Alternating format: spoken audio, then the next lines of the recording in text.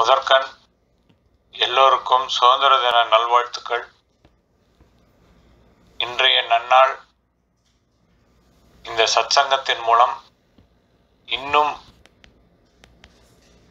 நல்ல நல்லாளாக ஆகிறதுக்கு இறையருள் நமக்கு துணை புரியட்டும்.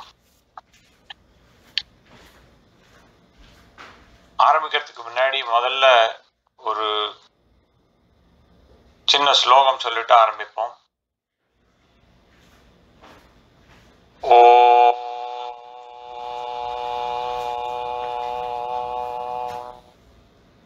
असतो मा तमसो मा ज्योतिर्गमय गमय ओ शान्ति शान्ति शान्तिः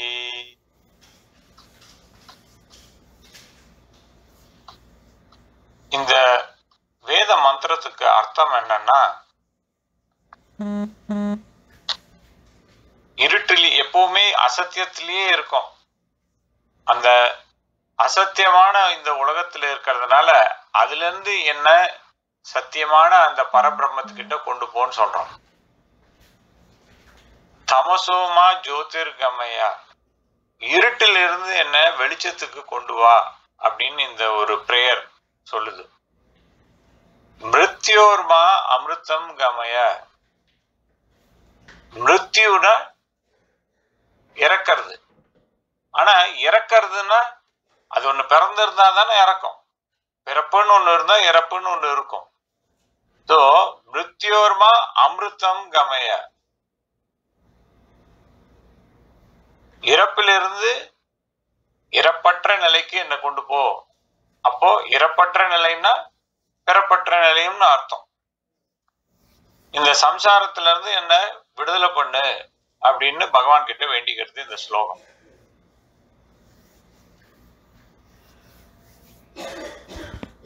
வசுதேவசுதம் தேவம் கம்ச சாணூரமர்தனம்.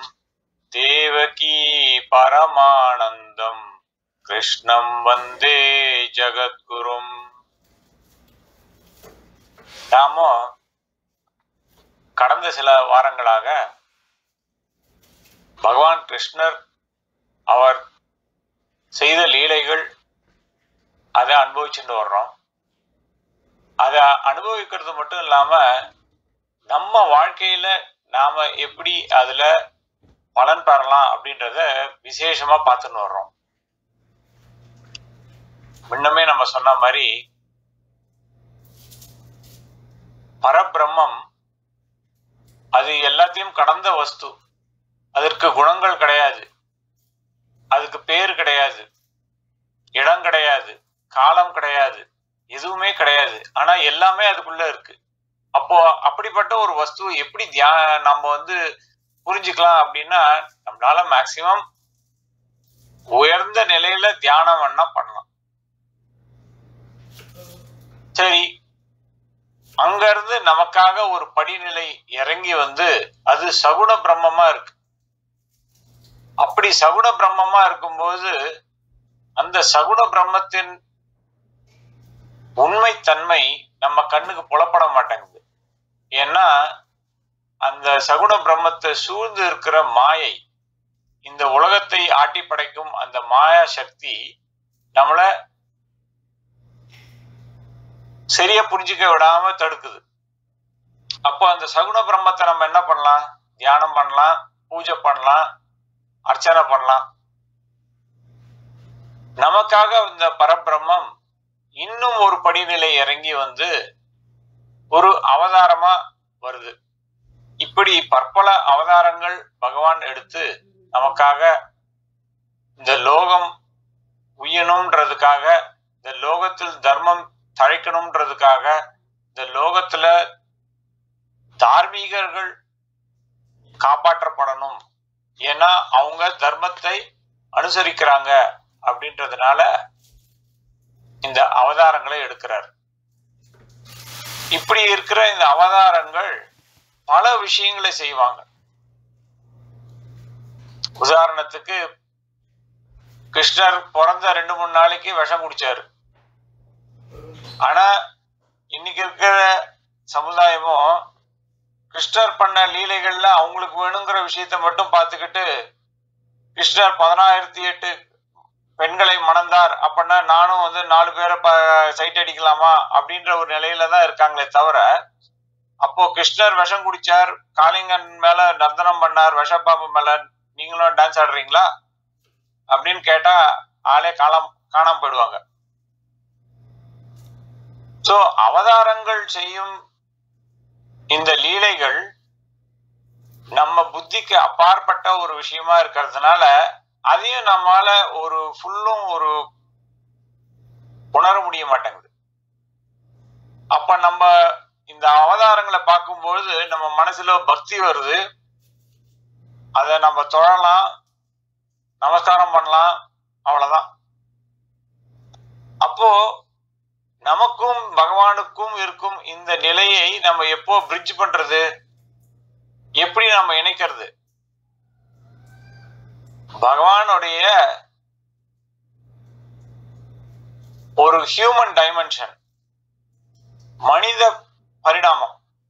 இத நம்ம வந்து இந்த பரிமாணத்தை நம்ம வந்து பார்க்கும்போது நமக்கு தெரியறது ஓகே. பகவான் இந்த மாதிரி ஒரு ந- அதை வந்து நம்ம ஃபாலோ பண்ணலாம் அப்படின்ற மாதிரி ஒரு ஹியூமன் ஆங்கிள் நம்ம கொண்டு வர்றோம். அப்போ இந்த குவாலிட்டிஸ இந்த குணங்களை நாம நம்ம வாழ்க்கையிலயும் கொண்டு வர்றதுக்கு முயற்சி பண்ணலாம். அப்படி நாம இந்த முயற்சி செய்யும் போது நாம எந்த நிலையில இருந்து வர்றோன்றத பார்க்கணும்.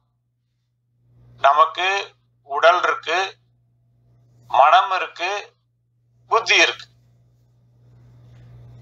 இப்போ செடி கொடிகளுக்கு வெறும் உடம்பு மட்டும் இருக்கு லேசா கொஞ்சம் மனசு இருக்கு. விலங்கினங்களுக்கு உடல் இருக்கு மனம் நல்லா இருக்கு இங்க போனோம் அங்க போகணும்னு அது டிசைட் பண்ணி போகுது. ஆனா அதுக்கு புத்தி இருக்கா அப்படின்னா லேசா புத்தி இருக்கு. அவ்வளவாக இல்ல. மனிதன் ஒருத்தனுக்கு தான் உடல் மனம் புத்தி இது மூணும் இருக்கு. இப்போ நாம அந்த புத்தியை யூஸ் பண்ணலன்னா நம்ம எந்த லெவலுக்கு போவோன்றத சொல்லவே தேவையில்ல. அப்போ இந்த பகுத்தறியும் புத்தியை வச்சுக்கிட்டு பகவான் அவதாரமா வந்து நமக்காக செய்த சேஷ்டிதங்கள்ல இருக்கிற மனித பரிமாணத்தை நம்ம கூட இணைச்சிக்கிறதுக்கு நம்ம முயற்சி பண்ணலாம். அவர் என்னென்ன பண்ணாரோ அதை நம்ம காப்பி பண்றதுக்கு ஃப்ரீ லைசன்ஸ் கொடுத்துருக்காரு. காப்பிரைட் வயலேஷனே கிடையாது. அப்படி பகவான் செய்த பல சேஷ்டிதங்களை நாம அனுபவிச்சுன்னு வர்றோம். ஜராசந்தனை அழிச்சப்போ ஒரு பிரச்சனை எப்படி தொடர்ந்து பல வருஷங்களுக்கு வந்துட்டே இருக்கு. அதுல இருந்து நம்ம எப்படி பல சொல்யூஷன்ஸை கண்டுபிடிக்க முடியும் அப்படின்றத நம்ம தெரிஞ்சிட்டோம் போன வாரம் ஒரு கல் பல மாங்காய் அப்படின்ற தலைப்புல பல பிரச்சனைகள் சேர்ந்து வருது நம்ம வாழ்க்கையில. அத பகவான் எப்படி அணுகினார்? அதை பார்த்து நாமளும் நம்ம வாழ்க்கையில பல பிரச்சனைகளை எப்படி சேர்ந்து வந்தா எப்படி அணுகணும் அப்படின்றத நாமளும் பார்க்கிறோம். இன்றைக்கு ஒரு விசேஷமான ரொம்பவும் விசேஷமான வேற எந்த இதிகாச புராணங்கள்லயும் இல்லாத ஒரு விசேஷமான ஒரு விஷயத்தை பார்க்க போறோம். ருக்மிணி கிருஷ்ணனுக்கு ஒரு காதல் கடிதம் எழுதுறார் அந்த காதல் கடிதம் பார்த்துட்டு கிருஷ்ணர் வந்து அவளை காப்பாத்துறாரு.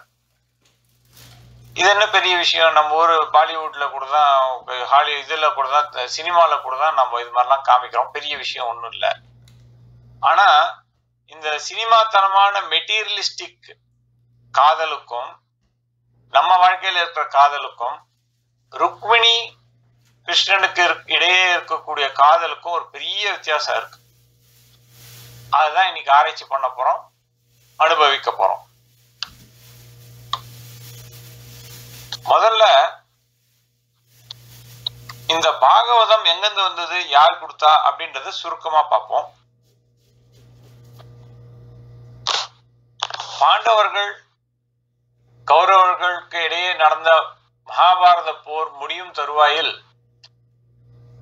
அஸ்வத்தாமன் அவங்க அப்பாவை கொண்ட அந்த ஒரு அந்த கோபத்தின் காரணமாக எந்த ஒரு அதர்மம் செஞ்சாவது பாண்டவர்களை அழிக்கணும் அப்படின்ற அந்த கோபத்தை தூங்கிட்டு இருந்த பாண்டவ சைன்யத்தின் மீது காமிக்க அவங்க எல்லாம் இறந்து போயிட்டாங்க. அதை தண்டிக்கிறதுக்கு வந்த பாண்டவர்களை அழிக்கணும்ன்றதுக்காக அபாண்டவாஸ்திரம்ன்ற ஒரு அஸ்திரத்தை விட்டுட்டான். ஆனா அவனால விடதான் முடியுமே தவிர அதை வாபஸ் வாங்க முடியாது. அதுக்கு கவுண்டர் நம்ம அர்ஜுன கிட்ட இருந்தது. அவனும் வந்து வால்மீக வசி- நம்ம அஹ், கு- குரு சொன்னாருன்றதுக்காக வாபஸ் வாங்கிட்டாரு. வியாசர் சொன்னார்ன்றதுக்காக வா- வாபஸ் வாங்கிட்டார். ஆனா நம்ம அஸ்வத்தாமனுக்கு அது வாபஸ் வாங்குற டெக்னிக் தெரியாது. அதனால என்ன பண்ணிட்டான்? பிறக்காத குழந்தையான உத்திரையின் கர்ப்பத்தில் இருக்கக்கூடிய அபிமன்யுவின் குழந்தையான பரீட்சித் மகாராஜா மேல அந்த அஸ்திரத்தை விட்டுட்டான். பாண்டவர்களுக்கு இனிமே வம்சமே இருக்கக்கூடாது. அப்படின்ற மாதிரி அந்த அஸ்திரத்தை விட்டுட்டான். அதை காப்பாத்துறதுக்கு கிருஷ்ணர் முயன்ற போது அவனை அப்படி காப்பாத்தியும் அவன் வந்து புறக்கடிச்ச கரித்துண்டமா வந்து வெளியில வந்து வந்தான் அதை காப்பாத்துறதுக்கு கிருஷ்ணர் அவனுக்கு அவன் கால் கட்டை விரலால தீட்சை கொடுக்கவே அவன் திரும்பியும் உயிரோட வந்தான். இவ்வளவு பெருமைகள் கொண்ட பரீட்சித் மகாராஜா ஒரு நாளைக்கு வளர்ந்தப்புறம் அவன் ராஜாவா இருக்கும்போது விதிவசத்தால் ஒரு சிறு தவறை இழைக்கிறான். அதற்கு அந்த ரிஷிகுமாரன் ஒரு சாபம் கொடுத்துட்றான் இன்னில இருந்து ஏழு நாள்ல உனக்கு தக்ஷகன்ற பாம்பு கடிச்சு நீ சாக போற. இப்போ அவனுக்கு அந்த சீக்வன்ஸ் என்ன அப்படின்றத கொஞ்சம் விஸ்தாரமா சொல்லுவோம். குஜராத் இருக்கிற இந்த தேசத்துக்கு அந்த காலத்துல பேரு அனர்த்த தேசம். இன்றைக்கு நாக்பூர் கிட்ட இருக்கிற ஏரியா விதர்பம்னு சொல்லுவோம்.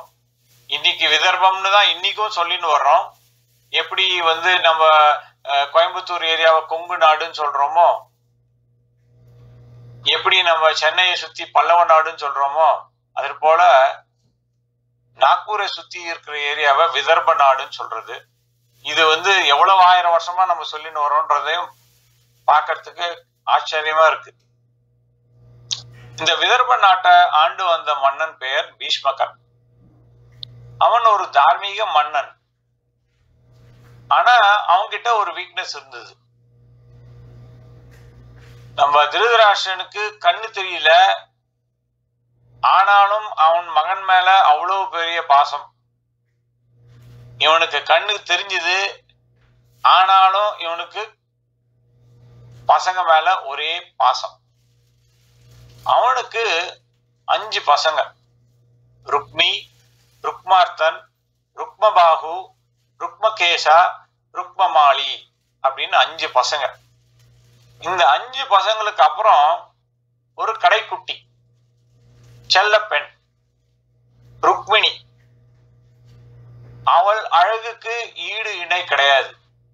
அவள் குணத்திற்கு முன்னால் அவள் அவ்வளவு பெரிய குணவதி.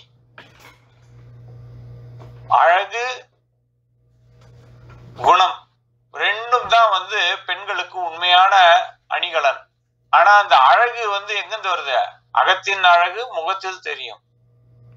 சோ உண்மையான அணிகலன் எது அப்படின்னா பெண்களுக்கு அவங்களோட குணம்தான். அப்படின்றத ருக்மிணி கிட்ட இருந்து நம்ம தெரிஞ்சுக்கலாம். இப்போ ருக்மிணிய வந்து சின்ன வயசுல இருந்தே வரும்போது என்ன பண்ணுவாங்கன்னா ஆனா அந்த ஊர்ல ஒரு அப்போ மதுரால இருந்திருக்கலாம் கிருஷ்ணர். அந்த ஊர்ல ஒரு பையன் இருக்கான். பார்க்கறதுக்கு அவ்வளவு அழகா இருப்பான். அந்த பையன் இந்த மாதிரி மலையை தூக்குனான். இது மாதிரி பாம்பு மேல டான்ஸ் ஆடினான். இப்படி பல லீலைகளையும் மக்கள் வந்து சொல்லிட்டு வர்றாங்க. எல்லா இடத்துலயும் இந்த விஷயங்கள் போனா கூட யார் வாங்கிக்கிறாங்களோ அவங்களுக்கு தானே அந்த பவர் இருக்கும். சூரியனுடைய ஒளி எல்லா இடத்துலயும் சமமா விழுந்தா கூட ஒரு லென்ஸ் வச்சு ஒரு பூத கண்ணாடி வச்சு அதை ஃபோக்கஸ் பண்றப்ப என்ன ஆகுது? ஒரு பேப்பரோ இல்ல ஒரு புல்லோ பத்திக்கிட்டு எரியுது இல்லையா? அது போல யார் ஃபோக்கஸ் பண்றாங்கன்னா ருக்மணி தான் ஃபோக்கஸ் பண்றான். இது போல கிருஷ்ணனை கல்யாணம் பண்ணிண்டா கிருஷ்ணனை தான் அடையணும். அப்படின்ற மாதிரி. இது ஒன் வே டிராபிக் இல்ல இந்த இன்ஃபர்மேஷன் இது டூ வே டிராபிக் எல்லாரும் வந்து கிருஷ்ணன் எங்கெங்க இருக்கானோ அப்போ அந்த போற இடத்தெல்லாம் வந்து சொல்லிட்டு இருக்காங்க பொண்ணுன்னா குணவத்தின்னா ருக்மிணி தான். ஈடு இணை கிடையாது. அவளதான் கல்யாணம் பண்ணிக்கணும். சோ ரெண்டு பேரும் பார்க்காமலே ஒரு காதல். அந்த காதலுக்கு என்ன ஒரு விசேஷம்னா நம்ம சினிமாலேயோ நம்ம வாழ்க்கையிலயோ பார்த்தா காதல்னா ஒரு பார்த்து தெரிஞ்சுக்கிட்டு இந்த ஆள் மேல இவ்வளவு அழகா இருக்காங்க அட்ராக்டிவா இருக்காங்க அப்படின்ற மாதிரி ஒரு இப்ப சினிமாலாம் வந்து சில ஹீரோயின்லாம் வரும். பாக்குறதுக்கு அவ்வளவு அழகா இருக்கும். இந்த ஹீரோவை பார்த்தா நமக்கே வாந்தி வரும். இவனெல்லாம் எப்படி ஹீரோவா போட்டாங்கன்ற மாதிரி இருக்கும். ஆனா அவன் வந்து சேரியில இருந்து இருந்தாலும் சரி என்ன இதுவா இருந்தாலும் சரி உடனே காதல்னு வந்துரும். இந்த பாயிண்ட வந்து பின்னாடி நம்ம பார்க்க போறோம். ஏன்னா ஒரு குவாலிபிகேஷன் இருக்கு.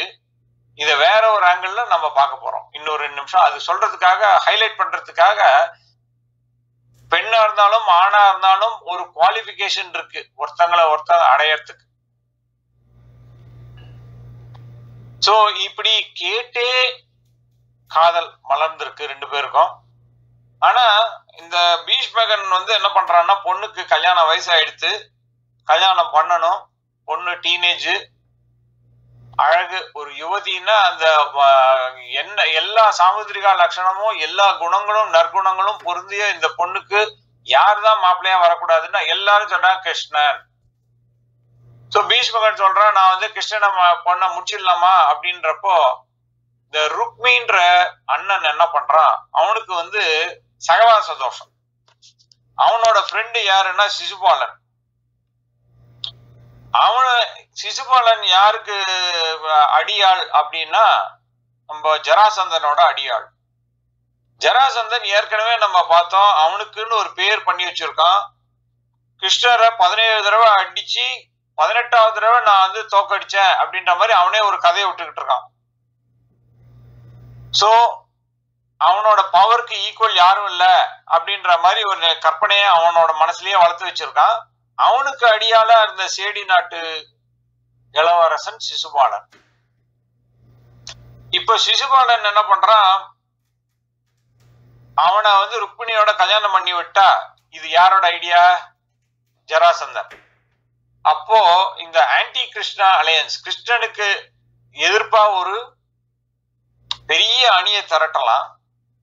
இப்படி நிறைய பொலிட்டிக்கல் மேரேஜஸ் பண்ணினா இப்ப நம்ம நாட்டிலேயே பார்க்கறோம் இல்லையா? ஒரு பெரிய இந்திய நாட்டை கவுக்கணும்னா என்ன பண்ணணும்? வெளிநாட்டுல போய் பாடம் படிக்கிற அடுத்த வாரிச பார்ல ஒரு டான்சர் கூப்பிட்டு தண்ணி விட்டா முடிஞ்சு போச்சு. ஆளு மயங்கி போய் பொத்துன்னு வந்துருவான் இந்த அம்மா உள்ள வந்துருவாங்க. நாட்டையே கண்ட்ரோல் பண்ணலாம். இதுதான் பிளான் ஸோ பொலிட்டிக்கல் மேரேஜஸ்ன்றது பழைய விஷயமும் இல்லை புதிய விஷயமும் இல்லை. இது எல்லா காலத்துலயும் நடந்திருக்கு அப்படின்றதுக்கு இது ஒரு சாட்சி. இப்ப என்ன ஆச்சுன்னா எல்லா மேரேஜ் அந்த கல்யாணத்துக்கு பண்ணக்கூடிய அத்தனை விஷயங்களையும் ருக்மியை முன்ன நின்று நடத்துறான். எல்லாருக்கும் இன்விடேஷன் அடிச்சு எல்லாரும் வாங்கன்னு சொல்லி எல்லாரும் வந்தாச்சு. அதனால ருக்மிணி பார்த்தா நான் என்ன பண்றது? ஒன்னும் பண்ண முடியலையே. விட்டுட்டு ஓடி போயிடலாமா? அப்படின்னா போய் பிடிச்சிருவாங்க. ஏன்னா அது மாதிரி போற மாதிரி ஒரு நிலையும் இல்லை. எங்க போறது? நம்ம எங்கேயும் போக முடியாது. ஏன்னா ஒரு வலையில அகப்பட்டிருக்கோம். அதனால கிருஷ்ணனுக்கு தூது அனுப்புவோம் அப்படின்னு ஒரு பிராமணனை பிடிச்சி அந்த பிராமணன் கிட்ட ஒரு கடிதாசி கொடுத்து நீங்க போய் இத வந்து கிருஷ்ணர்கிட்ட அவசியம் கொடுக்கணும். ஏன்னா நாளைக்கு சாயங்காலம் கல்யாண சடங்குகள் ஆரம்பிக்கிறது. அதுக்கு முன்னாடி நீங்க கொடுக்கணும்னு முன்னாடி நாள் சொல்றேன். குஜராத்ல இருந்து நீங்க நாக்பூர்ல இருந்து குஜராத் போகணும்னா எவ்வளவு நேரம் ஆகும்? ஆனா இந்த பிராமணர் என்ன பண்றாருன்னா சட்டுன்னு வாயு வேகம் மனோ வேகமா இங்க மறைஞ்சார் அங்க உடனே வந்துட்டார். அங்க வந்த உடனே முதல்ல கிருஷ்ணரை வந்து ஒரு தங்க சிம்மாசனத்துல உட்கார்ந்துட்டு இருக்கார். அத பார்த்துட்டும் இவர் என்ன பண்றாருன்னா இவர் வந்திருக்காருன்றது தெரிஞ்ச உடனே கிருஷ்ணர் கூப்பிட்டு அவர் காலில் அலம்பி அர்க்கியம் பாத்தியம் எல்லாம் கொடுத்து அதுக்கப்புறம் ஒரு கொஸ்டின் கேக்குறாரு. நீ உன்னுடைய ஸ்வதர்மத்தை நீ அனுஷ்டிக்கிறியா? நீ சந்துஷ்டமா இருக்கியா? நீ வந்து வேணும் வேணும்னு இருக்கியா? இல்லைன்னா கிடைச்சதை வச்சு சந்தோஷமா இருக்கியா? ஏன்னா ஒரு பிராமணன் இந்திரனானா கூட சரி வேணும் வேணும்னு நினைச்சிருந்தான்னா அதை விட க- க- கீழ்நிலை எதுவும் கிடையாது. ஆனா எதுவுமே கிடைக்காம கிடைச்சதை வச்சு நான் சந்தோஷமா இருக்கேன் அப்படின்னா எதிர்ச்சியா லாபம் சந்துஷ்டஹா கிடைச்சதை வச்சு சந்துஷ்டமா இருக்கேன் அப்படின்ற நிலைக்கு வரும்பொழுது நாம அந்த இந்திரனை விட நீ இந்த பிராமணன் உயர்ந்திருக்கான் அப்படின்றது கிருஷ்ணர் சொல்றாரு. இப்போ கிருஷ்ணர் வந்த உடனே அவருக்கு காலெல்லாம் பிடிச்சு விட்டு அவருக்கு சாப்பாடு முதல்ல போட்டுட்டு அதுக்கப்புறம் இந்த கேள்வி எல்லாம் கேட்கிறாரு அதுக்கப்புறம் பொறுமையா கேட்கிறாரு ஏதோ விஷயமா வந்திருக்கீங்களே என்ன விஷயம்? உங்க நாட்டுல எல்லாமே சௌக்கியமா? அப்போ இந்த லெட்டரை கொடுக்குறா. இந்த லெட்டர் நம்ம கொஞ்ச நேரத்துல டீட்டெயிலா பார்க்க போறோம். இப்ப இந்த லெட்டரை வந்து என்ன பண்றாருன்னா பகவான் நீயே படி. ஏன்னா ஒரு ஒளிவு மறை இல்ல அப்படின்றத நேத்திக்கு கிச்சா அவர்கள் வந்து உபன்யாசம் பண்ணும்போது டீட்டெயிலா சொன்னார். பகவானுக்கும் பக்தனுக்கும் நடுவுல இருக்கிற டிரான்சாக்ஷன் ஒரு க- ஒரு அவ்வளோ டிரான்ஸ்பரண்ட் அத வந்து என்ன சொல்றது? அந்த ஒரு டிரான்ஸ்பரன்சியை பார்த்து மத்த ஜீவாத்மாக்களும் பார்த்து தெரிஞ்சுக்கலாம். அதனால பகவான் அந்த லெட்டரை நீயே படி அப்படின்னு அவர் அந்த விஷயத்த சொன்ன உடனே சரி நம்ம நமக்கும் அதே ஆசைதான். ருக்மணி மேல இவ்வளவு ஆசை நமக்கும் இருக்கு. உடனே நம்ம கிளம்புவோம் அப்படின்னு சொல்லிட்டு தாருகன் அப்படின்ற அவரோட தேரோட்டிய கூப்பிட்டு நம்ம கிளம்பணும். அதனால நம்ம குதிரையெல்லாம் போட்டு அப்படின்னு. கிருஷ்ணருக்கு இருக்கும் ஒரே தேரோட்டி தாருகன் தான். அந்த அதே மால அதே போல கிருஷ்ணருக்கு அந்த தேர் பூட்டுறப்போ நாலு குதிரைகள் பூட்டுவாங்க. அந்த குதிரைக்கெல்லாம் பேர் இருக்கு. சைபியா சுக்ரீவா மணிபுஷ்பா வாலாகா அப்படின்னு நாலு பேர். அந்த குதிரைகள்லாம் எப்படின்னா வாயு வேகம் மனோ வேகமா போகும். ஒரு இடத்துக்கு கிருஷ்ணர் போகணும் அப்படின்னு சொல்லிட்டாருன்னா அவர் டிட்டர்மைன் பண்ற ஸ்பீடுக்கு மேட்ச் பண்ணின்னு போவோம். இப்போ அர்ஜென்டா வந்து ஒரு பிராமணன் எங்கிருந்தோ வந்தா கிருஷ்ணர் தேர் ஏறி போறாரு. அவர் போற டைரக்ஷனை வச்சு கிருஷ்ணருக்கு ஏற்கனவே அந்த விதர்ப நாட்டு இளவரசி ருக்மிணி மேல ஒரு கண்ணு இருக்குன்னு பலராமருக்கு ஏற்கனவே தெரியும். ஏன்னா அவருக்கு இப்பதான் ரீசெண்டா கல்யாணம் ஆச்சு. நேற்றுக்கு தான் நம்ம பண்ணி வச்சோம். ரேவதி கல்யாணம். சோ ரைவத்தன் என்ற ராஜாவோட பொண்ணு ரேவதி. அதனால பலராமருக்கு புரியுது. நம்ம தம்பிக்கும் வந்து க- ஒரு க- காதல் வசப்பட்டிருக்கார் அப்படின்றதுனால அந்த ஆங்கிள் பார்த்துட்டு நம்ம உடனே போகணும்.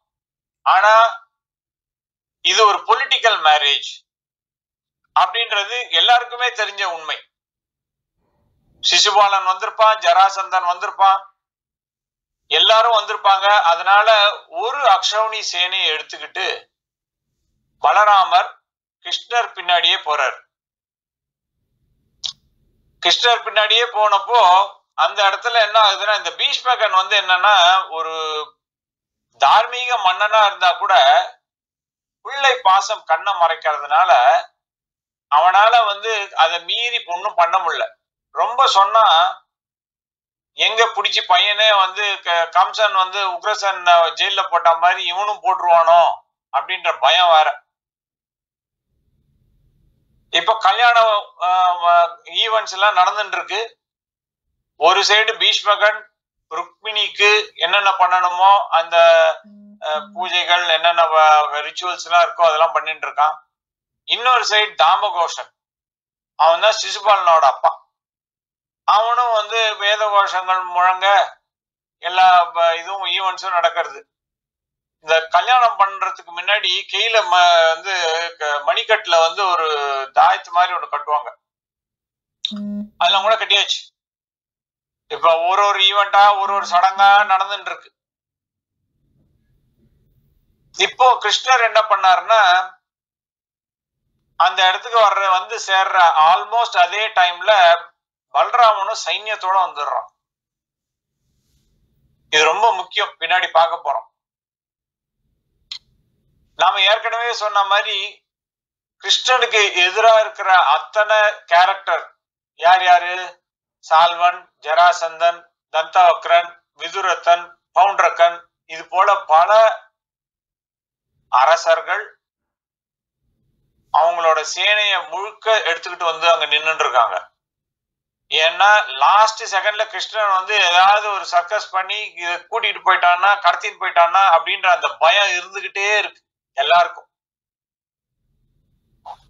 இப்போ ருக்மிணி வந்து அனுப்பிச்சோமே இந்த பிராமணனை இன்னும் காணுமே அப்படின்னு ரொம்ப ஆதங்கத்துல இருக்கா.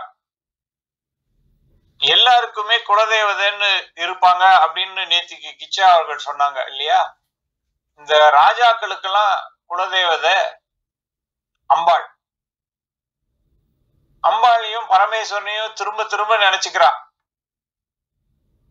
அம்பாள் நான் வந்து என்னோட இந்த மணால்னு எனக்கு முடிச்சு கொடுக்க கூடாதா நான் இவனை தான் மணந்தால் இவனை தான் மணப்பேன். இல்லைன்னா வந்து நான் எனக்கு- எனக்கு வேற இந்த வாழ்க்கையே வேணாம். அப்படின்ற நிலையில இருக்கா.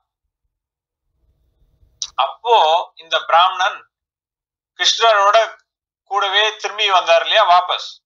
அப்போ அவர் போய் சொல்றார் இங்கதான் வந்து ருக்மிணிய பத்தி ஒரு சின்ன விவரணை கொடுக்கறாங்க பாகவதத்துல. ஒரு ரெண்டு லைன்.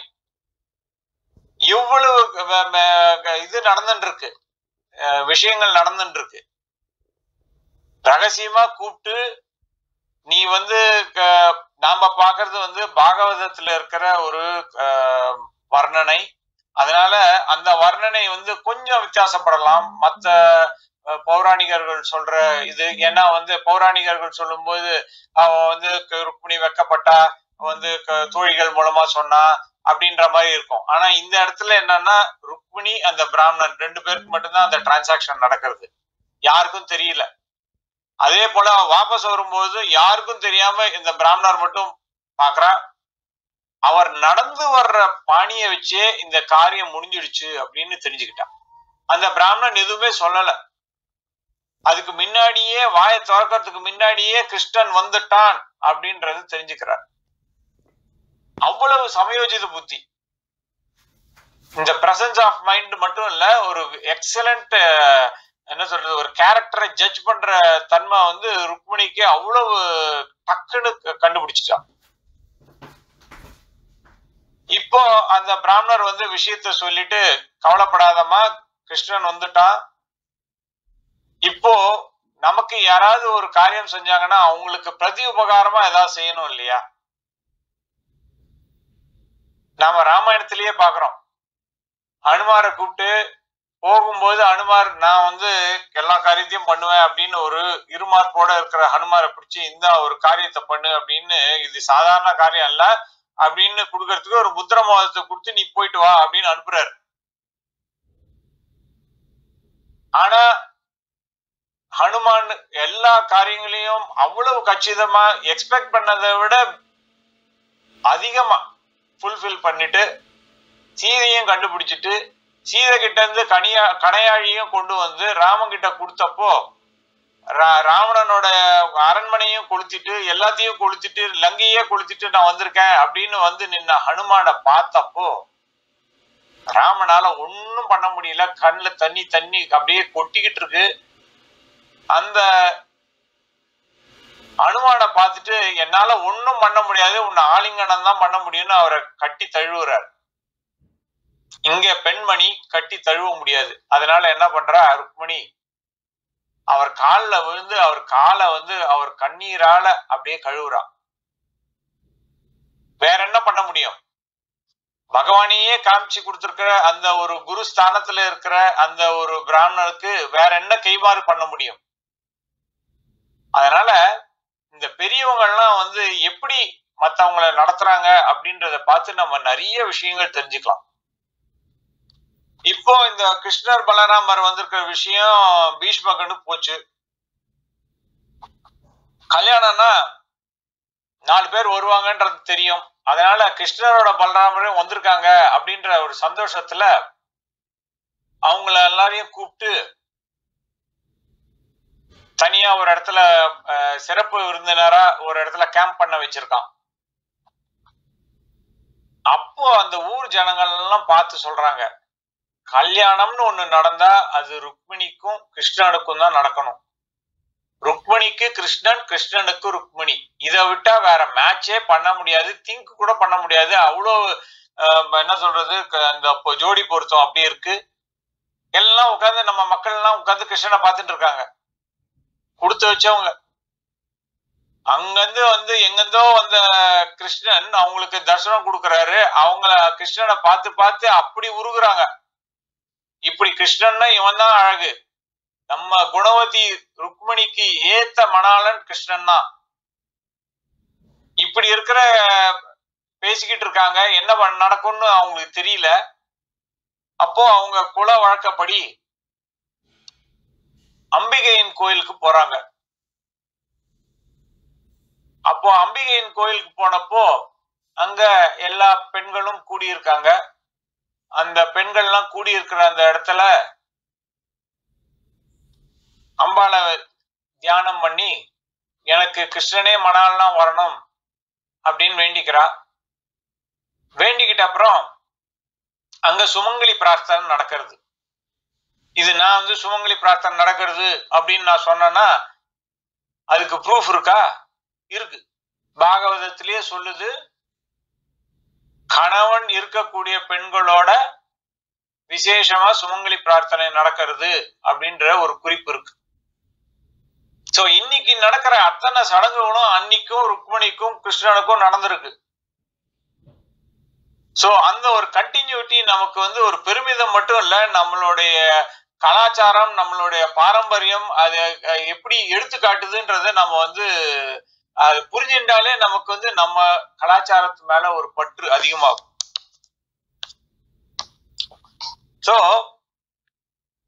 இப்ப என்ன ஆச்சுன்னா அந்த கோயில்ல நம்ம முடிஞ்சதுக்கு அப்புறம் அந்த தர்சனம் எல்லாம் முடிஞ்சிட்டு வெளில வர்றான் இவ்வளவு நேரம் வந்து தன் மன மனதிற்கு உகந்த மணாலனையே மணக்கணும்ன்ற ஒரு விரதத்துல மௌனமா இருந்திருக்கா?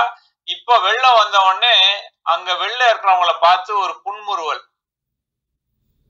அவளோட புன்முறுவல் தங்க பக்கம் வரமா அப்படின்னு எல்லா அஹ், அரசனும் இளவரசனும் பார்த்துட்டு இருக்காங்க. அவளோட அழகிலேயே அவங்க எல்லாம் என்ன பண்றாங்கன்னா என்ன வேணா நடக்கும் இல்லையா? அதனால எல்லாம் ரெடியா இருக்காங்க. ஆர்மியோட இருக்காங்க. அவங்க கீழ பிடிச்சிருந்த சஸ்திரம் அஸ்திரம் எல்லாம் அப்படியே கீழே பொத்து பொத்து கீழே போட்டாங்க. அவ்வளவு அழகு. அவ நடந்து வர்ற நடைய பார்த்துட்டு அப்படியே தகச்சு நிக்கிறாங்க. ருக்மிணியோட அழகு அதுதான். இப்போ வந்து எல்லாரும் வந்து ருக்மிணிய வந்து க- சிசுபாலன் கல்யாணம் பண்ணி கொடுக்கணும் அப்படின்ற அதெல்லாம் மறந்து போச்சு. இவ்வளவு அழகா இருக்காளே இவ்வளவு அழகா இருக்காளே அவ்வளவுதான். இப்ப கிருஷ்ணன் பார்த்தா அங்க இருந்து எங்க இருந்தோ நின்று இருந்த கிருஷ்ணன் திடீர்னு வந்து இப்படி தேடின்னு இருக்கா. கிருஷ்ணன் எங்க இருக்கான் கிருஷ்ணன் எங்க இருக்கான்னு தேடின்னு இருக்கா. அவ கண்ணுல கிருஷ்ணன் மாட்டின உடனே கிருஷ்ணன் ஓகே. இவ வர்றதுக்கு தயாரா இருக்கான்னு தெரிஞ்சின்ற உடனே அங்கிருந்து வந்தான். அப்படியே அழகா தூக்குனான் தாருகா வான்னா வந்து சொல்ற சொல்லி நினைக்கிறதுக்கு முன்னாடி தாருகன் பக்கத்துல நிக்கிறான் தேரோட. அப்படியே பூட்டி அழகாக அந்த தேர்ல தூக்கி போட்டான் க- ருக்மிணிய.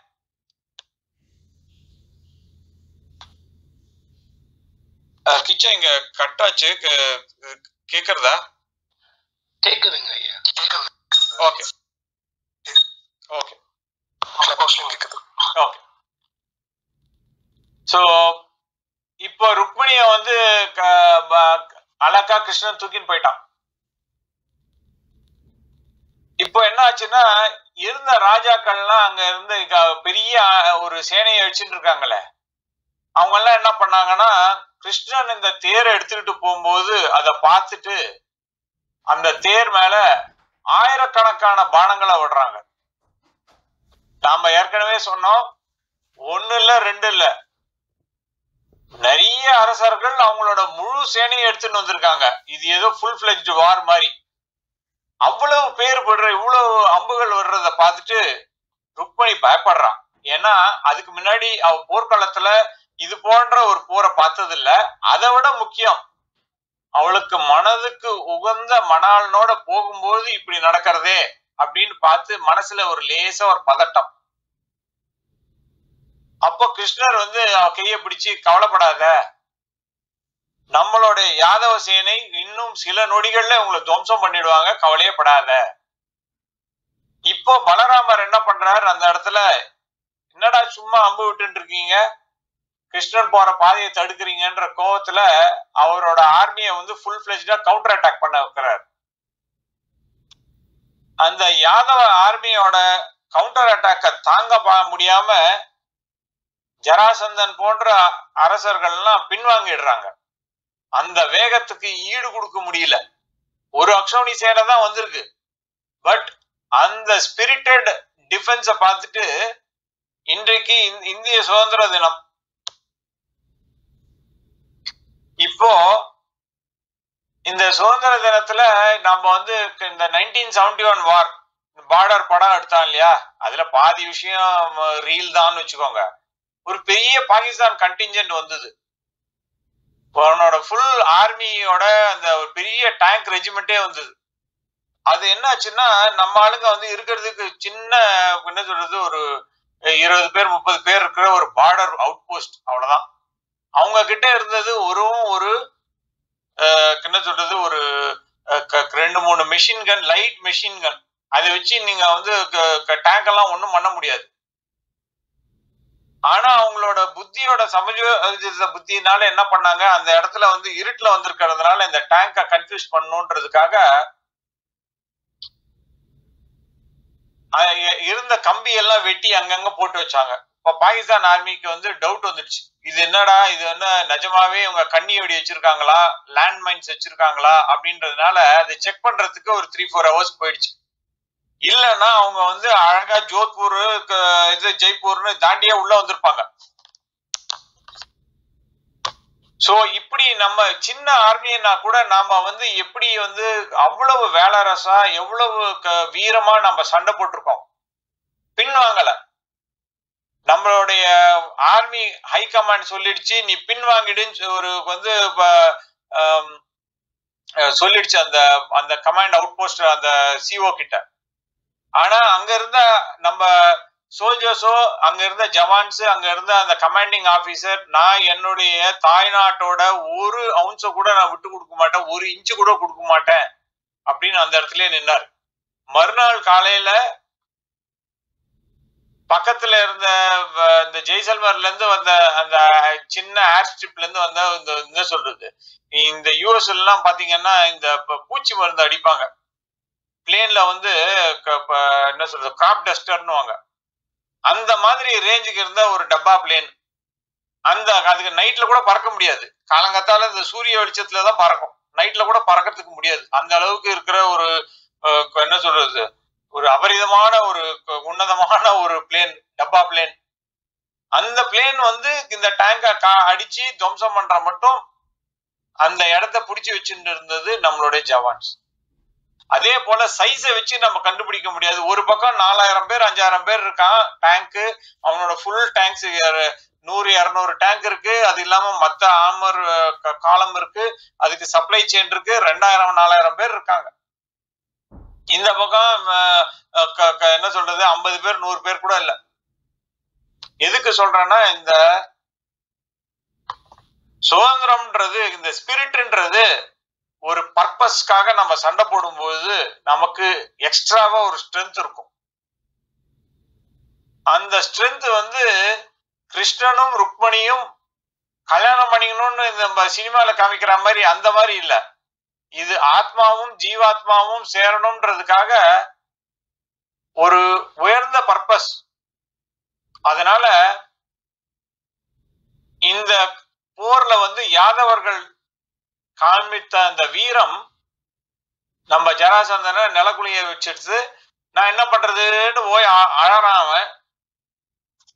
போய் அழறத நிறுத்து பாக்குறதுக்கே சாதாரணமாவே சைக்கல இப்ப அழுதா இன்னும் அசிங்கமா இருக்கு சும்மா இரு அப்படின்னு ஜராசந்தன் சொல்றான். நீ வந்து எப்ப பார்த்தாலும் அழுதுன்னு இருந்தானா நீ வந்து என்ன எங்க இருந்து பிடிக்க போற? நானே பதினெட்டு தடவை சண்டை போட்டதுக்கு அப்புறம் தான் கிருஷ்ணனை வந்து ஒரு தடவை ஜெயிக்க முடிஞ்சது. பதினேழு தடவை ஒரே ஒரு ஆளா ஒத்த காசு இருப்படியா இந்த தாயக்கட்டை விளையாடும் போது ஒரே ஒரு காய் மாட்டிக்குமே. அது மாதிரி ஒரே ஒரு ஆளா என்னை மட்டும் விட்டுருக்கான். பதினேழு தடவை பதினெட்டாவது தடவை மட்டும்தான் நான் வந்து அவனை துரத்தி அடிச்சேன். அப்போ காலம் நம்ம விட ஒரு பவர்ஃபுல் என்டிட்டி நம்ம விட காலத்துக்கு ரொம்ப பவர் ஜாஸ்தி. நமக்கு நேரம் சரியில்லைன்னா நம்ம என்ன பண்ணாலும் சரியாகாது அப்படின்னு ஒரு வேதாந்தத்தை வேற சொல்லி தர்றான். சிசுபாலனுக்கு. இப்ப என்னாச்சுன்னா இந்த விதர்ப நாட்டு தலைநகரம் குந்தினபுரம். இந்த குந்தினபுரத்துல அங்கிருந்து ஒரு ஒரு அக்ஷௌனி சேனையை எடுத்துக்கிட்டு ருக்மி அவன் அண்ணன். அவன் ஒரு சபதம் செய்யறான். கிருஷ்ணனை கொல்லலைன்னா நான் வந்து இந்த குந்தினபுரத்துக்கு திரும்பி வரமாட்டேன் அப்படின்னு ஒரு சபதம் செய்யறான். இந்த ருக்மி பத்தி பின்னாடி இன்னொரு சமயம் நம்ம டீட்டெயிலா பார்ப்போம்.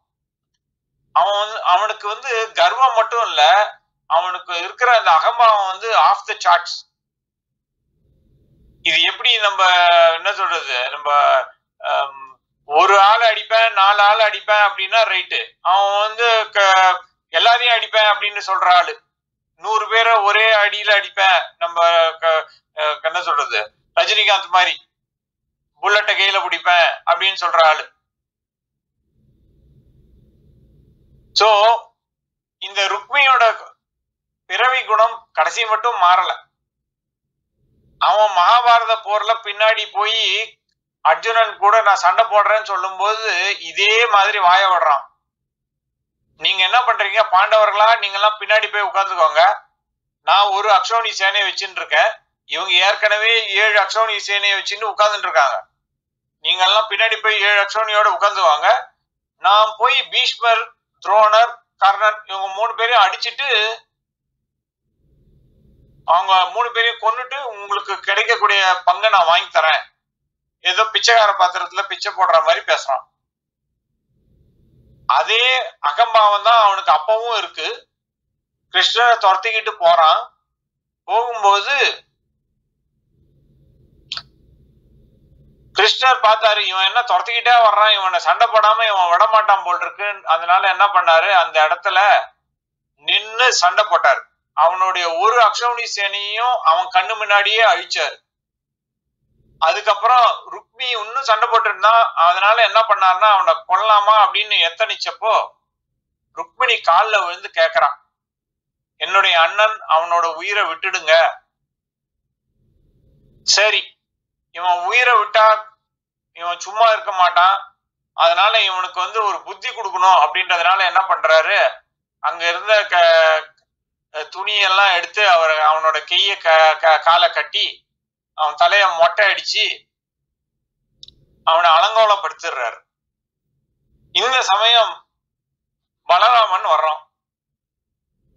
பலராமன் வந்துட்டு அவனுக்கு ஒரே ஷாக் அதுக்குள்ள வந்து பலராமன வந்து அந்த ப- யாதவ சேனை வந்து இந்த மத்தவங்க எல்லாம் அடிச்சிட்டு வரும்போது இந்த கிருஷ்ணன் என்ன பண்றான்? அவன் பின்னாடி ஒரு ஆர்மி போயிருக்கேன்ற அந்த பதட்டத்துல வேக வேகமா வர்றான். பார்த்தா கிருஷ்ணர் கதையெல்லாம் முடிச்சிட்டு இவனை மொட்டை அடிச்சு இவனை க- கொல்லாம உயிர் பிச்சை கொடுத்துருக்காரு. அந்த ஷாக்கை பார்த்துட்டு பலராமனுக்கு ரொம்ப கோபம் வருது. கிருஷ்ணன் நீ என்ன இப்படி எல்லாம் வந்து நம்ம சொந்தக்காரனையே அடிக்கிற? அவன் என்னதான் இருந்தாலும் மச்சான் இல்லையா? இந்த பக்கம் பாக்குறாரு. ருக்மிணி நீ கவலையப்படாதமா இந்த கிருஷ்ணன் ரொம்ப நல்ல கிருஷ்ணன் தான். ஏதோ கோபத்தினால ஏதோ வேகத்தினால இப்படி பண்ணிட்டான். அவன் வந்து எல்லாரையும் வந்து இது மாதிரிலாம் பண்ண மாட்டான். அவனுக்கு வந்து கருணை ஜாஸ்தி. இந்த பக்கம் திரும்பி. ஏ கிருஷ்ணா நீ பண்ணது சரியா? இப்படி வந்து நம்ம வீட்டுக்கு வர்ற லக்ஷ்மி முதல்ல வர்றா நீ வந்து வந்தனாலே இப்போ ஒரு கொலையோட நிக்கிறியே இது சரியா? சொந்தக்காரன்னு உனக்கு வந்து ஒரு இது இல்லையா? இந்த பக்கம் திரும்பி ருக்மிணி நீ கவலைப்படாதம்மா நான் சொல்றேன். இப்படி மாத்தி மாத்தி மாத்தி மாத்தி சொல்லிட்டு இருக்காரு. இவ்வளவு சொல்லியும் ருக்மணிக்கு வந்து ஆறுதல் அடையல மனசு. நம்ம அண்ணன் இவ்வளவு பெரிய சேனையை எடுத்துன்னு வந்தான்.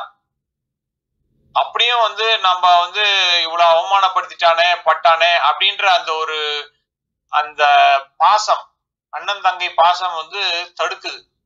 அப்ப பலராமர் சொல்றார் யாரு வந்து இந்த இடத்துல வந்து நிரந்தரமா இருக்க போறாங்க?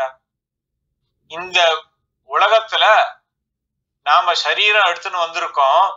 அந்த சரீரம் நிரந்தரமானது இல்லை ஆனா சரீரம் தான் நான் நினைச்சுக்கிட்டு இவ்வளவு ஆட்டம் போட்டுட்டு இருக்கோம் நான் இந்த உடல் இல்லை நான் இந்த ஆத்மா அப்படின்னு நாம யாருக்கு புரியறது? அவங்களுக்கு தான் வந்து மனசுல கஷ்டம் இல்லாம இருக்கும். எப்படி வந்து ச- சந்திரன் வந்து பாக்கிறது ஒரு ஒரு நாளைக்கு ஒரு ஒரு கலையோட இருக்கு. ஒரு நாளைக்கு அமாவாசையா இருக்கு ஒரு நாளைக்கு வந்து பௌர்ணமியா இருக்கு. அப்போ அந்த சந்திரனுடைய நிலை மாறிக்கிட்டே இருக்கா? இல்ல. சந்திரனோட நிலை மாறாம தான் இருக்கு. அதே சந்திரன் தான் ஒரே சந்திரன் தான் இருக்கு. ஆனா நம்ம கண்ணுக்கு தான் அப்படி தெரியறது. அது போல மனுஷனோட பிறவியில பிறப்பு இறப்பு அப்படின்ற ஒரு சுழற்சியில ஒரு நாளைக்கு சின்ன குழந்தையா இருக்கான் ஒரு நாளைக்கு வயசான கிழவனா இருக்கான் ஒரு நாளைக்கு பணக்காரனா இருக்கான் ஒரு நாளைக்கு ஏழையா இருக்கான். இப்படி பல மாறுதல்கள் நடக்குதுமா அதனால நீ வந்து உண்மையான சத் விஷயத்தை மட்டும் பாரு. இந்த மாதிரி நடக்கிற இந்த சின்ன சின்ன விஷயங்களை போட்டு மனசை தளர விடாத அப்படின்னு வேதாந்தம் பேசுறார். இது எங்க? யுத்த காலத்துல ருக்மி கைய க- கட்டிக்கிட்டு அவன் தலைய மொட்டை அடிச்சுக்கிட்டு அவன் மீசைய பாதி எடுத்துக்கிட்டு இந்த மாதிரி இருக்கிற நிலையில வேதாந்தம் பேசுறாரு. அந்த வேதாந்தத்தை கேட்டுட்டு தான் ருக்மிணிக்கு மனசு ஆறுதல் அடையுது. இதுல இருந்து என்ன தெரியுது? இதே வேதாந்தத்தை தான் கிருஷ்ணர் வந்து அர்ஜுனனுக்கு சொன்னார். வேதாந்த சாரத்தை தான். அர்ஜுனன் அவனுடைய தர்ம யுத்தத்தை செய்யறான். சோ நாம ஏதோ நினைச்சிட்டு இருக்கோம் வேதாந்தத்தை வந்து ஏதோ ஒரு க- நம்ம மோட்சத்துக்காக மட்டும்தான் வச்சுட்டு இருக்கணும். சாகர நேரத்துக்கு கேட்கணும். எழுபது வயசுக்கு அப்புறம் தான் படிக்கணும். கிடையாது. பிறந்த குழந்தையில இருந்து நம்ம சொல்லி தரணும். நான் ஒரு காலத்துல நம்மளுடைய தாய்மார்கள்லாம் குழந்தைய வந்து சின்ன வயசுல கருவுல இருக்கும்போதே வந்து நீ வந்து வேதாந்தத்தை ஊட்டி ஊட்டி வளர்த்து நாடு இது. அப்படி செழித்த நாடு இது. ஆனா இன்னைக்கு வந்து வேதாந்தமா அதுல வந்து விஷயமே இல்ல. அது என்னன்னு கூட தெரியாது. ஆனா சர்டிபிகேட் கொடுக்கறதுக்கு நாலு பேர் இருப்பாங்க. அவங்க இருக்கிற இடத்துல டுமில் டுமில்னு நாலு சத்தம் வேற கேட்கும். அது வேற விஷயம். ஆனா வேதாந்தத்தை நம்ம வந்து சும்மா வந்து ஒரு கடை வாழ்க்கையின் கடைசி விஷயத்துக்காக அப்படின்னு நினைச்சிட்டு இருக்கோம். கிடையாது. நம்ம வாழ்க்கைக்கு ஒவ்வொரு ஸ்டேஜ்லயும் நம்ம வாழ்க்கை நடத்துறதுக்கு நம்ம டைரக்ஷன் கரெக்டா இருக்கா? தர்மத்துல இருக்கோமா? அறத்தின் வழியே நம்ம நடக்கிறோமா? அப்படின்னு ஒரு கைடன்ஸ் கொடுக்கிற ஒரு ஜிபிஎஸ் அதுதான் வேதாந்தம். அதுதான் இங்க பாக்குறோம். பலராமன் யுத்த காலத்துல ருக்மிணி அவ்வளவு எவ்வளவு சொல்லியும் வந்து அவளை தேத்த முடியல. வேதாந்தத்தை சொன்ன உடனே தான் தேத்தர முடியுது. கிரண்ய கசிப்பு அவனுடைய தம்பி அஹ், கிரண்யாக்ஷனுடைய மனைவி மக்கள் எல்லாம் வந்து அழறாங்க.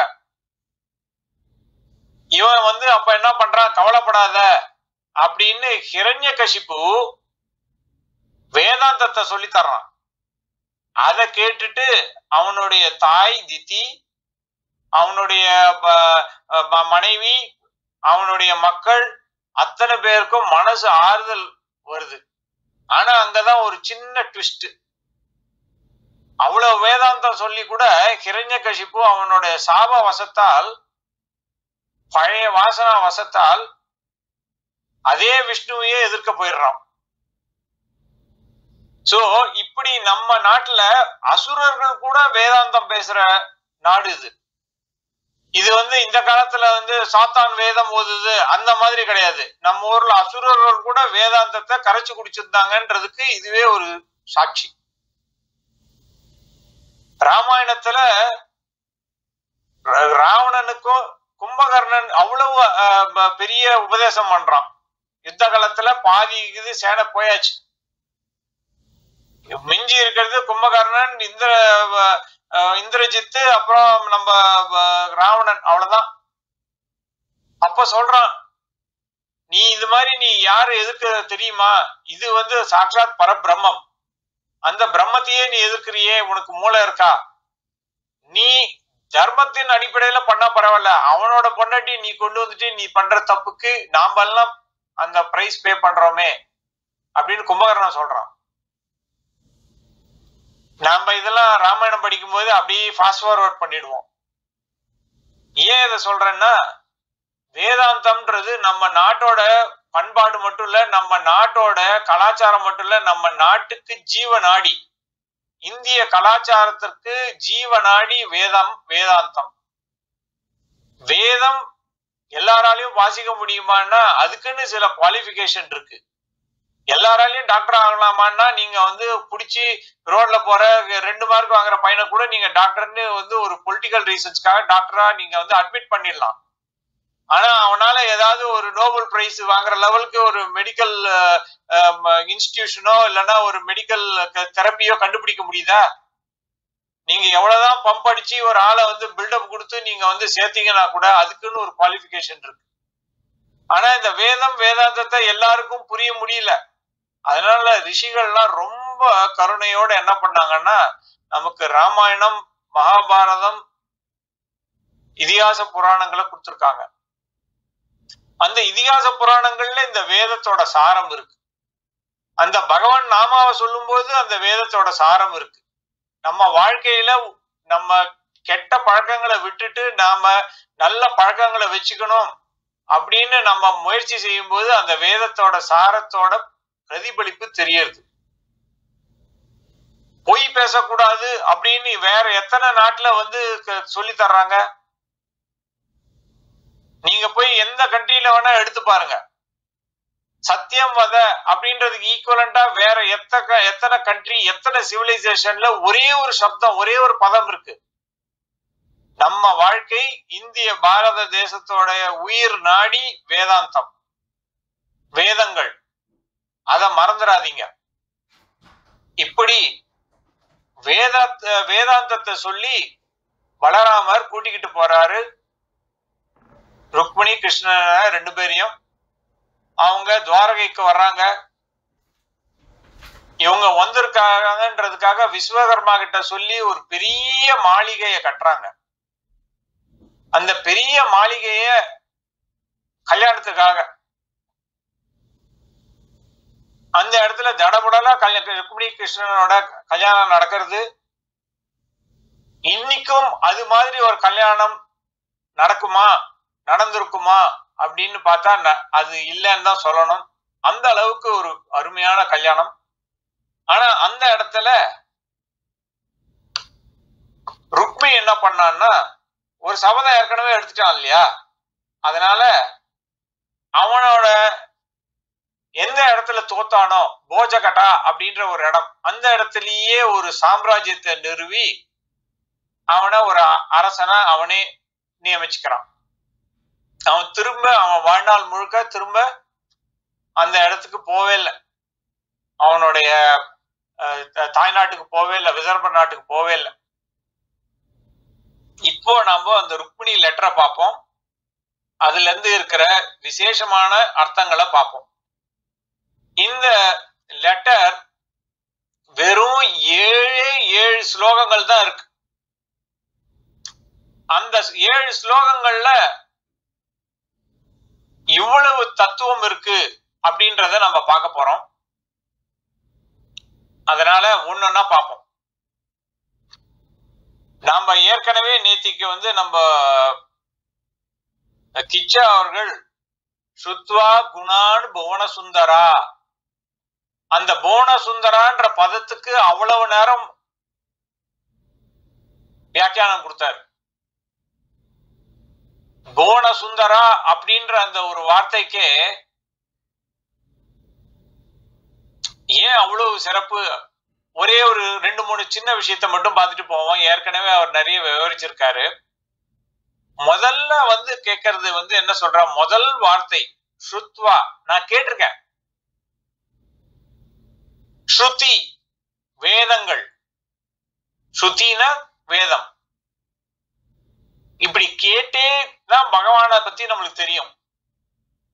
எப்படி பரீட்சித்த மகாராஜாவுக்கு பகவான் கிருஷ்ணனை பத்தி தெரியும்? சுக பிரம்மம் வந்து அவனுக்கு சொல்லி இவன் கேட்டு தெரிஞ்சுக்கிட்டு இருக்கான். அது போல பகவானோட குணாதிசயங்களை நம்ம கேட்டுதான் தெரிஞ்சுக்கிறோம். நாம பார்த்து தெரிஞ்சுக்க முடியுமா? அத அளவுல ஏதாவது இப்படி அளவுகோல் வச்சு நம்ம சொல்ல முடியுமா? முடியாது. அதனால அந்த கேட்டே தெரிஞ்சிருக்கு. நாம வந்து இந்த ஒரு பகவானோட லீலைகள் என்ன எவ்வளவு அஹ், பெரிய அஹ், பரமாத்மாவோட லீலைகள் என்ன பகவானுடைய குணங்கள் என்ன. முதல்ல என்ன சொல்றா? சுத்வா குணான். குணங்கள். பகவானுடைய குணங்களை மட்டும்தான் தெரியும். நிர்குண பிரம்மமா இருக்கிறது. அந்த நிர்குண பிரம்மத்தை பத்தி நம்ம என்ன சொல்ல முடியும்? இங்க இருக்கு அங்க இருக்குன்னு ஏதாவது சொல்ல முடியுமான்னா முடியாது. ஆனா நம்ம சகுண பிரம்மத்தை பத்தி சொல்லும்போது அது இப்படி இருக்கு அப்படி இருக்குன்னு ஒரு குணத்தை பத்தி சொல்ல முடியும். வேதங்களே வந்து ப- பகவானை பத்தி சொல்ல வர்றப்போ என்னால சொல்ல முடியாதுன்னு கை விட்டுடுது. ஐயோ நீயே கையை விட்டுட்டன்னா நமக்கு எப்படி? அப்படின்னு ஒரு நிலை வரும்போது அது கருணையோட ஒரு தாய் உள்ளத்தோட அந்த வேதம் என்ன சொல்லுதுன்னா சத்தியம் ஞானம் அனந்தம் பிரம்மம்னு சொல்லுது. இப்படி பல லிஸ்ட் கொடுக்குது. பகவான் அப்படின்னா சத்தியம். பகவான் அவருக்கு எல்லையே கிடையாது அனந்தம். பகவான் அப்படின்னா ஞானத்து ஒத்- எல்லா ஞானத்தையும் ஒரு பழம்பா போட்டீங்கன்னா அதுதான் வந்து பகவான். இப்படி பகவானுக்கு ஒரு பாயிண்டரை கொடுக்குது. ஆனா ஒரு பாயிண்டர் கொடுத்து பிரயோஜனம் இல்லை. ஏன்னா பல பாயிண்டர்ஸ் கொடுத்துட்டு இருக்கு ஏன்னா ஒரு பாயிண்டரால கம்ப்ளீட்டா சொல்ல முடியுமா அப்படின்னா முடியாது. இப்போ உதாரணத்துக்கு மூணாவது பதம் புவன சுந்தரா புவன சுந்தரானா அப்போ வந்து நாம சொல்லலாம். இந்த உலகத்திலேயே அழகு. நம்ம புண்டரீகாக்ஷன் அப்படின்னு சொல்றோம். பகவானோட கண்ணு வந்து தாமரை மாதிரி இருக்கான் அப்போ பகவான் வந்து தாமரை கண்ணன்னா அப்படின்னா உடனே வந்து மத்த மலர்கள்லாம் கோச்சுக்க போகுது. சோ அதனால அவ யூஸ் பண்ற வேர்டு என்னன்னா புவன சுந்தரா இப்போ நாம யாருக்கிட்டயா ஒரு வேலை வாங்கணும் அப்படின்னா அவங்களுக்கு ஐஸ் வைப்போம். எனக்கு இது வேணும் அது வேணும்னா உங்களை மாதிரி ஆள் யாருமே இல்லை சார் காக்கா பிடிக்கிறோம் இல்லையா? ஆனா இந்த இடத்துல வந்து காக்கா பிடிக்கல. அந்த உண்மையான நிலைய வந்து வெளிப்படுத்துறான் அதனால இப்படி நான் கேட்டே தெரிஞ்சுக்கிட்டு இருக்கேன் நீ வந்து யாரு? உன்னுடைய குணங்கள் என்ன? அதனால இந்த குணங்கள் கேட்டு கேட்டு என்னோட என்னோட மனசுல ஒரு தாபம். நீ இல்லைன்னா எனக்கு இந்த உயிரே தேவையில்ல. அதனால எனக்கு நீ மட்டும்தான் வேணும். அப்படின்னு சொல்லிட்டு அவ கேக்குறான் அந்த ஒரு அழக பார்த்து கிருஷ்ணனோட அழக பார்த்து ரூப லாவண்யத்தை பார்த்து எல்லாமே அதுல அடங்கி இருக்கு எனக்கு அந்த லாவண்யத்தை தவிர வேற எதுவுமே வேணாம் அப்படின்னு சொல்றான். அதோட நிறுத்திக்காம அடுத்த லைன்ல என்ன சொல்றா? இப்ப முதல் லைன்ல ஒரு முக்கியமான விஷயம் சொல்றா. முதல்ல வந்து ஒரு அப்ஜெக்டிவ் யூஸ் பண்றா புவன சுந்தரா அதுக்கப்புறம் அந்த ஸ்லோகத்தோட கடைசி பகுதியில சொல்றா அச்சுதா அப்படின்றா. அச்சுதா அப்படின்னா யாரு ஒரு முடிவு எடுத்துட்டானோ அந்த முடிவுல இருந்து ஒரு டிசைட் பண்ணிட்டான் இத ப- பக்தர்களை காப்பாத்துவேன் அப்படின்னு ஒரு டிசிஷன் எடுத்துட்டான். அப்போ அந்த டிசிஷன்ல இருந்து அவன் மாற மாட்டான். நீ அந்த பக்த வச்சலனாச்சே நான் உன்னுடைய பக்தை நான் என்னையே உனக்கு அர்ப்பணம் பண்ணிக்கிறேன். அப்போ நீ அந்த பேர் அச்சுதன்றது பேருக்கு ஏத்த மாதிரி நீ என்ன காப்பாத்தணும்ன்றது இன்டைரக்டா அங்கேயே சொல்லி முடிச்சிட்டா முடிஞ்சு போச்சு. அந்த அந்த அச்சுதான்ற அந்த ஒரு வேர்ட்லயே அந்த ஃபுல் ஏழு ஸ்லோகங்கள் சொன்ன காரியத்தோட பலன் அதுலயே முடிஞ்சு போச்சு. சோ இந்த அச்சுதனுக்குன்னு அவ்வளவு ஒரு விசேஷமான ஒரு ஒரு என்ன சொல்றது ஒரு அப்ஜெக்டிவ் பகவான் கிருஷ்ணன் அச்சுதன்னு சொன்னதுனால அவன் என்ன சொல்றான்னா ஏற்கனவே நீ வந்து கைவிட மாட்டேன்னு ஒரு ஒரு பேர் வச்சிருக்க. அந்த பேரை காப்பாத்து. இப்ப ஏற்கனவே நம்ம வந்து ஒரு பில்டப் கொடுத்துருக்கோம். லாஸ்ட் பால்ல கூட தோனி சிக்ஸ் அடிப்பாரு சிக்ஸ் அடிப்பாருன்னு.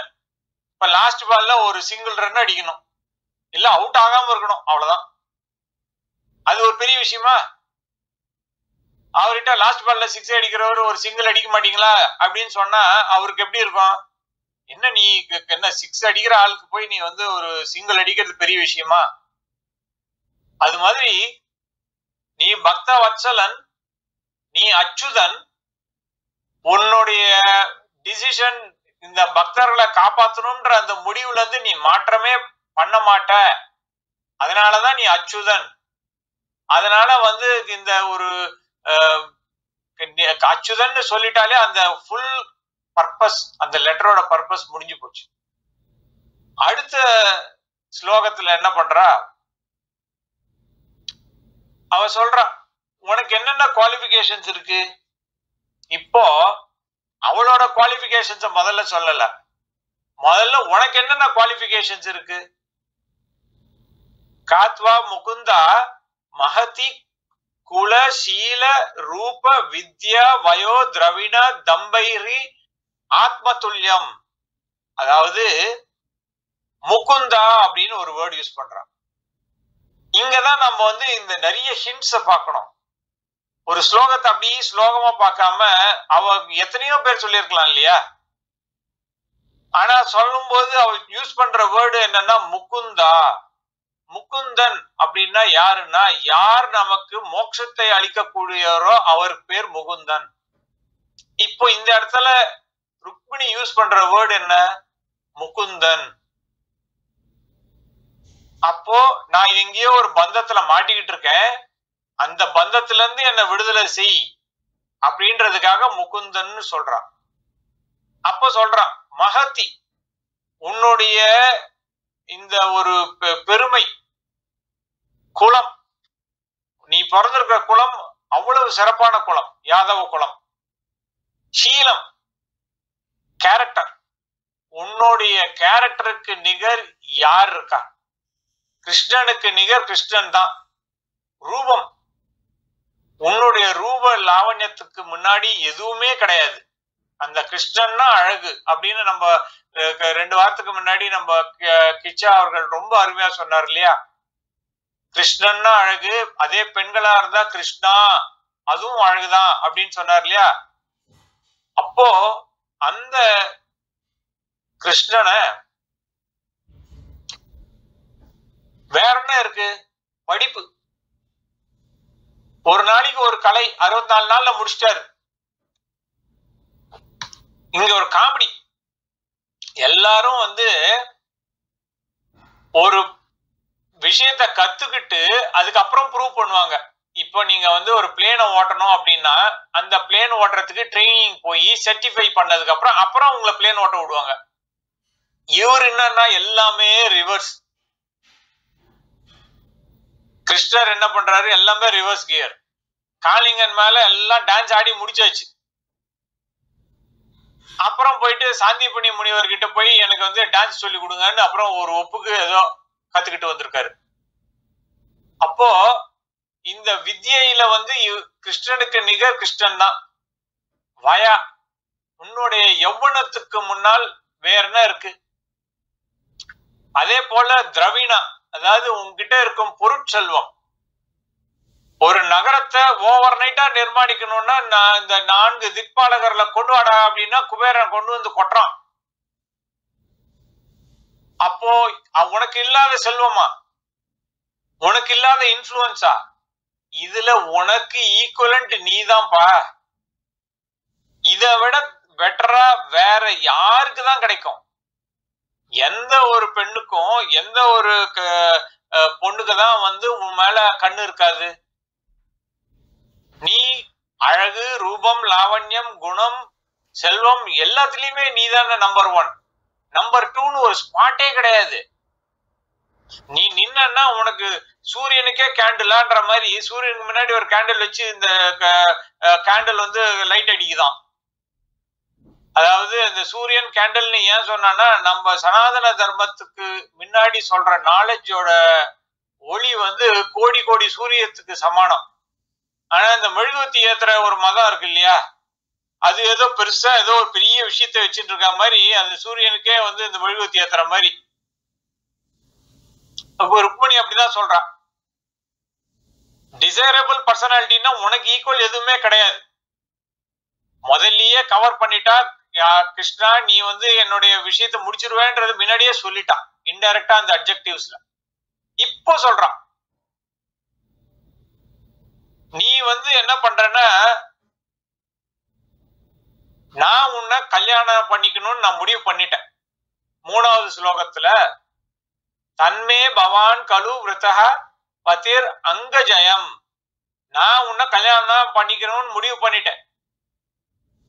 நான் உங்ககிட்ட டோட்டலா சரண்டர் ஆயிட்டேன். அதனால நீ என்ன பண்றன்னா என்ன மனைவியா எடுத்துக்கோ. என்ன மனைவியா எடுத்துக்கோன்னா தாமரை கண்ணனே என்ன ஒரு என்ன சொல்றது ஒரு ஒரு க- ஒரு சிங்கம் வந்து சண்டை போட்டு ஒரு ஒரு அனிமலை கொண்டு சாப்பிடுதுன்னா எப்படி வந்து தைரியமா முன்னாடி வந்து பயமே இல்லாம சாப்பிடுது. ஆனா அது இந்த பக்கம் சாப்பிட்டு இருக்கும்போது இந்த ஓனாய் எல்லாம் என்ன பண்ணும்னா இந்த இந்த ஜாக்கல் அதெல்லாம் என்ன பண்ணும்னா அது சைட்ல இப்படி பார்த்து ஒரு சின்ன துண்டை வந்து திருடின்னு போயிடும். அது மாதிரி இந்த சிங்கத்தோட சாப்பாட இந்த சிசுபாலன் எடுத்துன்னு போறானே அப்படின்னு. இந்த இடத்துல சிங்கம்னு ஏன் சம்மந்தம் இல்லாம சிங்கத்தை சொல்றா? ஏன்னா அன்னைக்கு பிறந்தது நரசிம்மம் பின்னாடி பிறந்தது ராகவ சிம்மம் இப்ப இருக்கிறது யாதவ சிம்மம். அந்த சிம்மமே நீதான். சிம்மத்துக்கு டெபினேஷனே நீதான். அந்த நரசிம்மம் நீதான். நரசிம்மம் எப்படி வந்து உள்ள டமான்னு அந்த ப- இது தூணை பொழந்துக்கிட்டு உடனே வந்து அந்த பிரகலாதனை காப்பாத்திச்சோ அந்த வேகத்துக்கு நீ வரணும்ன்றதுக்கு ஹிண்ட் பண்றதுக்கு சொல்றா இது மாதிரி நீ நரசிம்மம். அப்போ அந்த நரசிம்மமா இருக்கிற நீ இவ்வளவு கஷ்டப்படுறனே நானு என்ன நீ காப்பாத்த கூடாதா அப்படின்னு கேக்குறான் எவ்வளவு உருக்கமா எவ்வளவு சட்டிலா எவ்வளவு வந்து க- க- அதாவது வந்து இதை விட அழகா ஒரு விஷயத்தை எக்ஸ்பிரஸ் பண்ணவே முடியாது. நமக்கெல்லாம் வந்து நாலேஜ் இருக்கு நம்ம வந்து ஜம்பமா சொல்லிக்கிறோம். ஆனா ஒரு ரெண்டு லைன்ல ரெண்டு வரிகள்ல இவ்வளவு ஒரு ஒரு வார்த்தை பிரயோகத்துல ஒரே ஒரு வார்த்தையில இவ்வளவு விஷயத்த சொல்லிட்டா. சிங்கத்தோட இதான் வந்து என்ன சொல்றது? என்ன சிங்கத்தோட சாப்பாட வந்து இதுக்கு நரி வந்து எடுத்துட்டு போலாமா அப்படின்னு? அது மட்டும் இல்ல அம்புஜாக்ஷன்றா அம்புஜாக்ஷன்னா தாமரை கண்ணன். சரி தாமரை கண்ணு எல்லாருக்கும் தான் சொல்றோம். மீனலோச்சினி மீனாட்சி அப்படின்னு வந்து பல பேர்கள் சொல்லி நம்ம வந்து இந்த கண்ணை வந்து ரொம்ப விசேஷமா சொல்லி இது பண்றோம். இது என்ன அம்புஜாட்சன் பெரிய விஷயமா? ஏன் அம்புஜாட்சன் சொல்றான்னா முன்னாடி ஒரு இந்த சத்திய யுகத்துல கஜேந்திரனுக்கு மோட்சம் கொடுத்தது எப்போ? அவன் தாமரை தடாகத்துல தங்க தாமரை தடாகத்துல அவன் வந்து அந்த தாமரை எடுத்து பகவானுக்கு அர்ப்பணிக்கணும் அப்படின்னு கர்வத்தோட பிடிச்சுக்கிட்டு இருக்கும்போது அந்த முதல்ல காலை பிடிச்சி இழுத்துதே அப்போ அதுக்கும் இதுக்கும் என்ன சம்பந்தம்? இந்த தாமரை தான். சோ இப்படி பல பக்தர்களுக்கு நீ உதவி பண்ணிருக்க அப்படின்றதை இன்டைரக்டா ஹிண்ட் பண்றான்.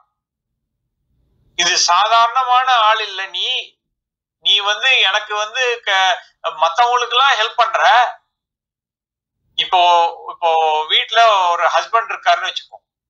அவர் வந்து பயங்கர கொடையாளி. அவர் வந்து வர்றவன் போறவனுக்கு எல்லாம் வந்து இந்த வச்சுக்கோ லட்சம் வச்சுக்கோ கோடி வச்சுக்கோ அப்படி கொடுத்துட்டே இருக்காரு. அப்போ ஒய்ஃப் வந்து கேக்குறா எனக்கு ஒரு பத்து ரூபா கொடுங்க அப்படின்னு. கை செலவுக்கு பத்து ரூபா கொடுங்கன்னு. அப்போ அது பெரிய விஷயமே இல்ல. ரோட்ல போற பிச்சைக்காரனுக்கு அனாத பிச்சைக்காரனுக்குலாம் நீ வந்து கோடி கணக்குல இந்த வச்சுக்கோ வச்சுக்கோன்னு கொடுக்குற. சொந்த பொண்டாட்டிக்கு பத்து ரூபாய் கொடுக்க மாட்டியா? அப்போ அந்த ஒரு இன்டைரக்ட் பாயிண்ட அந்த பாயிண்ட் ஆஃப் ப்ரெஷரை ருக்மிணி பில்ட் பண்றா. எவ்வளவு ஆழ்ந்த சிந்தனையுடைய பெண்ணா இருக்கா ருக்மிணி.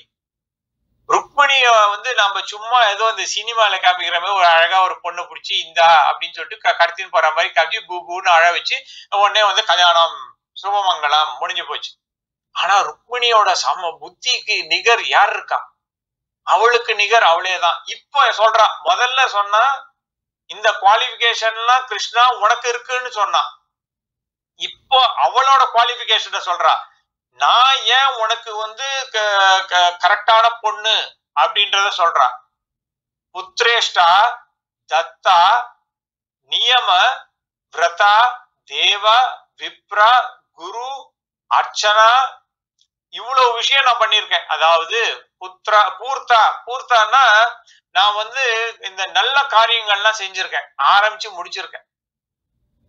எப்படி இந்த கிணறு வெட்டுறது பிராமணர்களுக்கு சாப்பாடு போடுறது அனாதைகளுக்கு வந்து உணவு கொடுக்கறது இது மாதிரி பல விஷயங்கள் நான் செஞ்சிருக்கேன். பூர்த்தான்னு அர்த்தம். இஷ்டா. இஷ்டா அப்படின்னா யாகங்கள் யஜ்யங்களை முன்னாடி நின்று பண்ணியிருக்கேன். அதுக்கெல்லாம் வந்து நான் ஸ்பான்சர் பண்ணியிருக்கேன்றான்.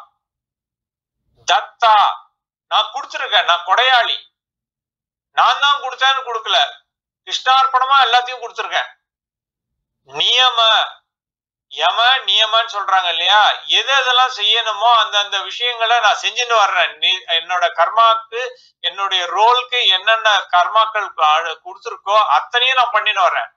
விரதா விரதங்களை பண்றேன் நான். தேவர்கள் பிராமணர்கள் குரு இவங்களுக்கெல்லாம் நான் வந்து எப்பவுமே அர்ச்சனை பண்றேன். எப்பவுமே நான் வந்து தொண்டு புரியறேன். இப்ப கூட ப்ரூஃப் இந்த பிராமணன் அனுப்பியிருக்கேன். அது இல்லாம இன்னும் நிறைய விஷயம் பண்ணிருக்கேன் என்ன?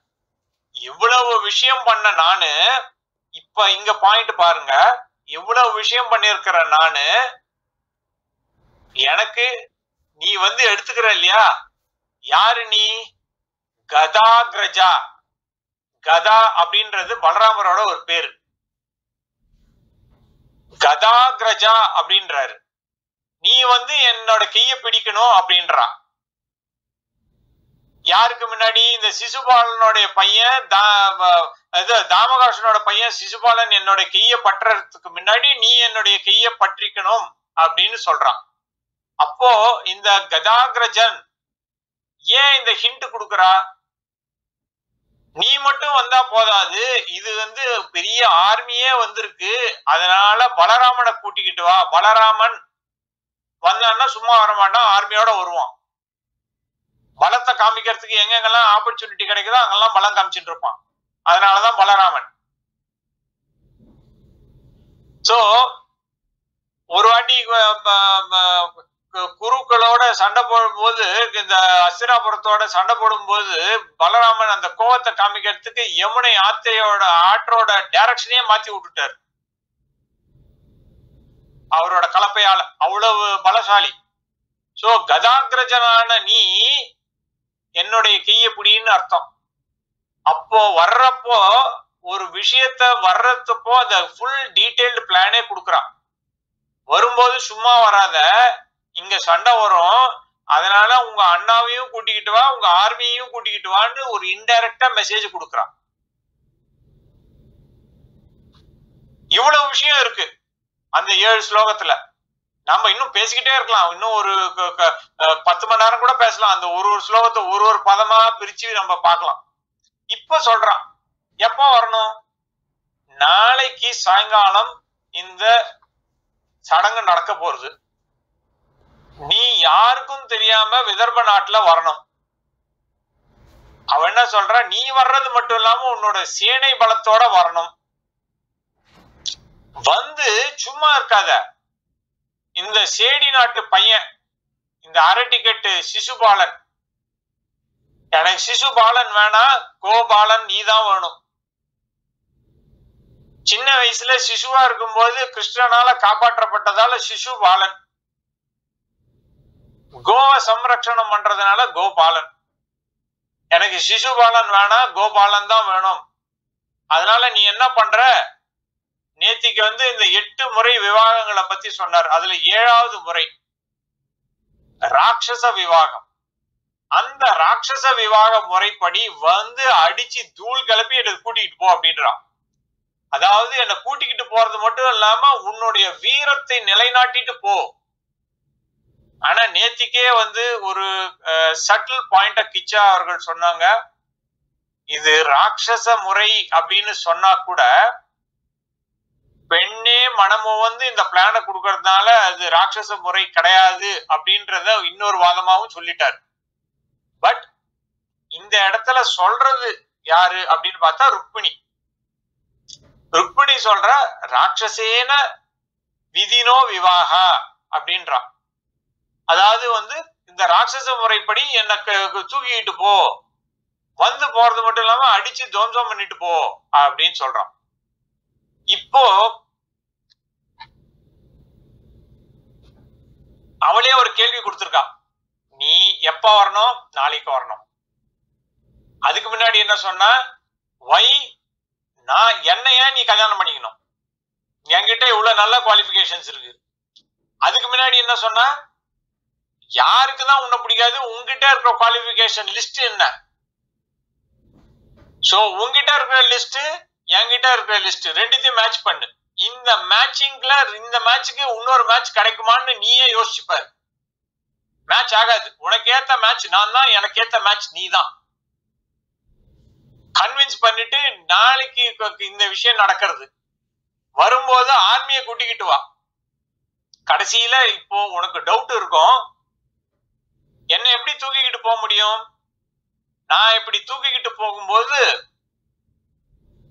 நான் என்னுடைய இடத்துல வந்து சொந்தக்காரங்களா இருப்பாங்களே அப்படின்னு நீ வந்து கவலைப்படாத. அந்த இடத்துல எங்க குலதெய்வ வ- வ- வழிபாடு முறை இருக்கு. அந்த இடத்துல அம்பாள் கோயிலுக்கு நான் போவேன்.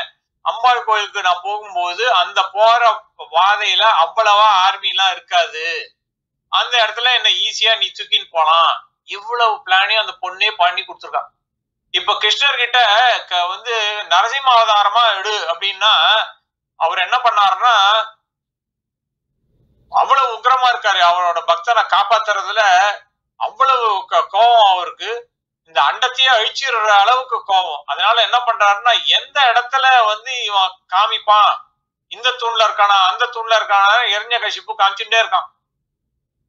அப்போ பிரகலாதன் வந்து உள்ள வந்து பார்த்துட்டு இருக்கான். ஆஹா இந்த தூண்ல இருக்காரு. இல்ல அந்த சேர்ல தான் இருக்காருன்ட்டாருன்னா இல்ல அந்த கத்தியில இருக்காருன்ட்டான்னா இல்லைன்னா இந்த செருப்புல இருக்காருன்ட்டான்னா அப்போ அந்த நரசிம்மம் அவதாரம் செய்யறதுக்காக என்ன பண்றாருன்னா இந்த உலகம் பிரபஞ்சம் பூரா வியாபிச்சு இருக்காராம் துடிச்சுக்கிட்டு இருக்காராம்.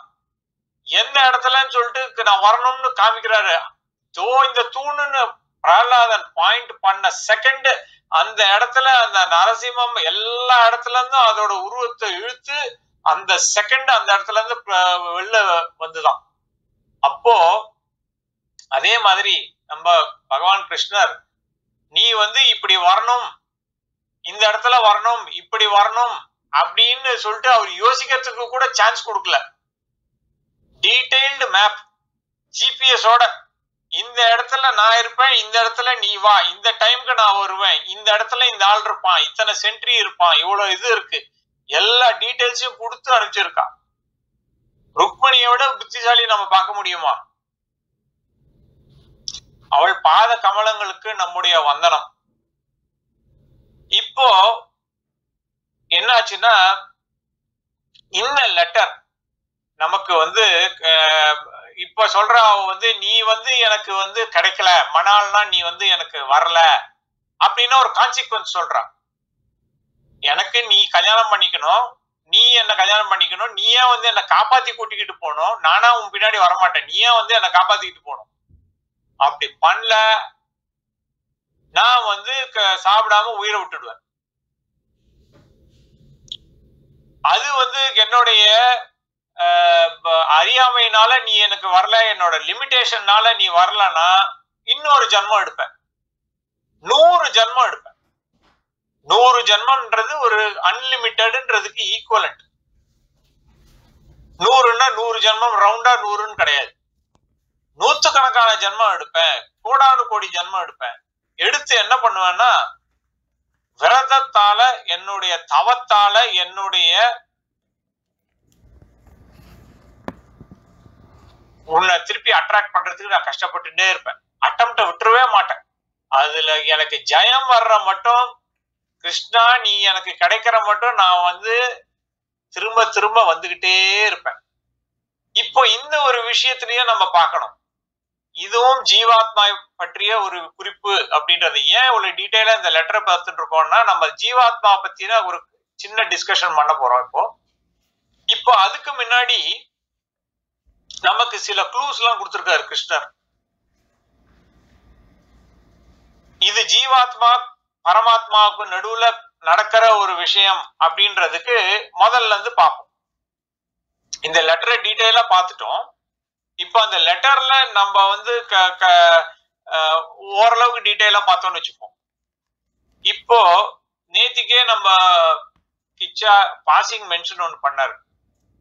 இந்த ஐந்து சகோதரர்களும் ஐந்து விதமான புலன்களை குறிக்கிறாங்க. இது பல ஆச்சாரியர்கள் கொடுத்திருக்கிறது. இது ஐம்புலன்களை காமிக்கிறது. மனசு வந்து க- என்ன சொன்னாலும் கேட்க மாட்டேங்கிறது. அதனால வந்து பரமாத்மா இந்த ஜீவாத்மா அந்த இடத்துல மாட்டிக்கிட்டு இருக்கு அப்படின்றத நேத்துக்கே சொன்னார். இப்போ கொஞ்சம் அதுக்கு அதுவும் ஒரு கரெக்டான பார்வை கோணம் தான். அதை தப்பா எடுத்துக்காதீங்க. நாம இன்னும் கொஞ்சம் ஆழமா போக போறோம். ஒரு லெவல் நெக்ஸ்ட் லெவல் போக போறோம். இப்போ முதல்ல நம்ம ஆரம்பிப்போம் ருக்மிணி ஒரு ஜீவாத்மா. அந்த ஜீவாத்மாவுக்கு பரமாத்மா பத்தின விஷயம் எப்படி தெரியும்? சத்சங்கத்தின் மூலமாக தெரியும். மற்ற ஆச்சாரியர்கள் வந்து பரமாத்மாவுக்கு இவ்வளவு கல்யாண குணங்கள் இருக்கு இவ்வளவு விசேஷமான விஷயம். பிரம்மான்னா இது அந்த பரபிரம்மம்னா இது அந்த விஷ்ணுன்னா இது அந்த மகேஸ்வரன்னா இது பெரிய ஆச்சாரியர்கள் பல ஆச்சாரியர்கள் இவ்வளவு விஷயங்களை நமக்கு சொல்லியிருக்காங்க. அந்த விஷயத்தை கேட்டு கேட்டு கேட்டு நமக்கு என்ன ஆகுதுன்னா நமக்கு ஒரு புரிதல் ஏற்படுது. அந்த புரிதல் பிரகாரம் நமக்கு பரமாத்மா மீது ஒரு பற்று வருது. அந்த பரமாத்மாவுக்கு நம்ம இருக்கிற விஷயம் தெரியும். நாம என்ன பண்றோன்ற விஷயமும் தெரியும். நம்ம மேல ஸ்பெஷலா ஒரு கண்ணும் வச்சுட்டு இருக்காரு. ஆனா அந்த பரமாத்மா உடனே டைனும் வரமாட்டாரு.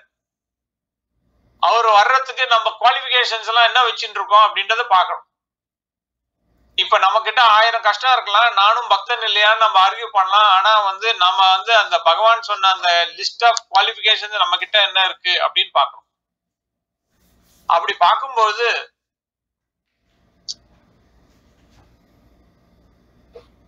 ஜீவாத்மா கிட்டயும் பரமாத்மா கிட்டயும் சில ஒற்றுமைகள் இருக்கு. ரெண்டுமே ஞானத்தின் ஒரு வடிவம். நம்ம ஏற்கனவே சொல்லிட்டோம் எல்லா குணங்களுக்கோட உறைவிடமும் பரமாத்மான்னு சொல்லிட்டோம். ஆனா நாம என்ன பண்றோம்னா இந்த உடம்பு தான் நான் அப்படின்னு நினைச்சிட்டு இருக்கோம். இல்ல இந்த மனம் தான் நான் இந்த புத்தி நான் இந்த உயிர் தான் நான் அப்படின்லாம் நினைச்சிட்டு இருக்கோம். இந்த பிராணன் தான் நான் அப்படின்னு நினைச்சிட்டு இருக்கோம். கிடையாது. அப்போ நான் என்பது இந்த ஜீவாத்மா இந்த ஜீவாத்மான்ற இந்த உயர்ந்த தத்துவத்துல பரமாத்மாவுக்கும் அதுக்கும் ஒரு கனெக்ஷன் இருக்கு. ஒரு சம்பந்தம் இருக்கு. ஒரு கடல் அந்த கடல்ல இருந்து ஒரு அலை வருது. அந்த அலை நினைச்சுக்குது நான் தனியான ஆளு. ஆனா அந்த கடல்ல இருந்து இருக்கிற அலை தனி இல்ல. அதே தண்ணி தான் ஒரு அலை மாதிரி தெரியுது. திருப்பி அது கடல்லே போயிடுது அப்படின்ற ஒரு அண்டர்ஸ்டாண்டிங் இருக்கு. ஒரு தங்க வளையல் பண்றீங்க. தங்க ஜிமிக்கி பண்றீங்க. எல்லாத்துலயும் என்ன இருக்கு? தங்கம் தான் இருக்கு. ஆனா நம்ம கண்ணுக்கு அது ஜிமிக்கி மாதிரி இருக்கு வளையல் மாதிரி இருக்கு ஒட்டியான மாதிரி இருக்கு.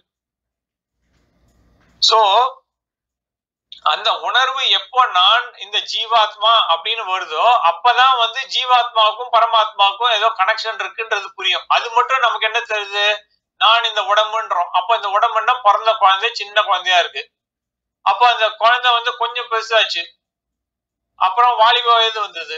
அப்புறம் கல்யாணம் ஆச்சு. வயசாச்சு செத்தே போயாச்சு. அப்போ இந்த உடல் மாறிக்கிட்டே இருக்கே அப்போ இந்த மாறிக்கிட்டே இருக்கிறது தான் நம்மளுடைய உண்மையான தன்மையானா கிடையாது. நம்மோட வே- வேதம் என்ன சொல்லுது? அந்த ஆத்மா சத்தான விஷயம் உண்மையான பொருள். அதோட உண்மை நிலை சத்து. முதல்ல சொல்றதே சத்து. அதுக்கப்புறம் தான் சித்து ஆனந்தம்லாம் பின்னாடி தான் வருது. இல்லையா? இப்போ இந்த ஆஹ், ஜீவாத்மா ருக்மிணின்ற இந்த ஜீவாத்மா. இந்த ஐம்புலன்கள் அப்படின்ற இந்த ஐந்து சகோதரர்களோட இருக்கு அப்படின்னு பாக்குறோம் ஆனா இந்த ருக்மின்றவனை கொஞ்சம் ஸ்பெஷலா கவனிக்கணும். இந்த நாலு பிரதர்ஸ் என்ன பண்ணாங்கன்னா அவங்க அப்பா கூட பின்னாடியே இருந்துட்டாங்க. அவங்க எல்லாம் பின்னாடி இந்த சீன்லயே காணும். அப்புறம் அவனுங்க அப்படியே கண்டுன்னு வந்துட்டாங்க. பீஷ்மகன் அஞ்சு பிசா பிரயோஜனம் எல்லாம் உட்கார்ந்துட்டு இருக்கான். ரைட்டா ஆனா இந்த ருக்மி மாத்திரம் என்ன பண்றான்னா பின்னாடியே துரத்திக்கிட்டு போய் சண்டை போடுறான்.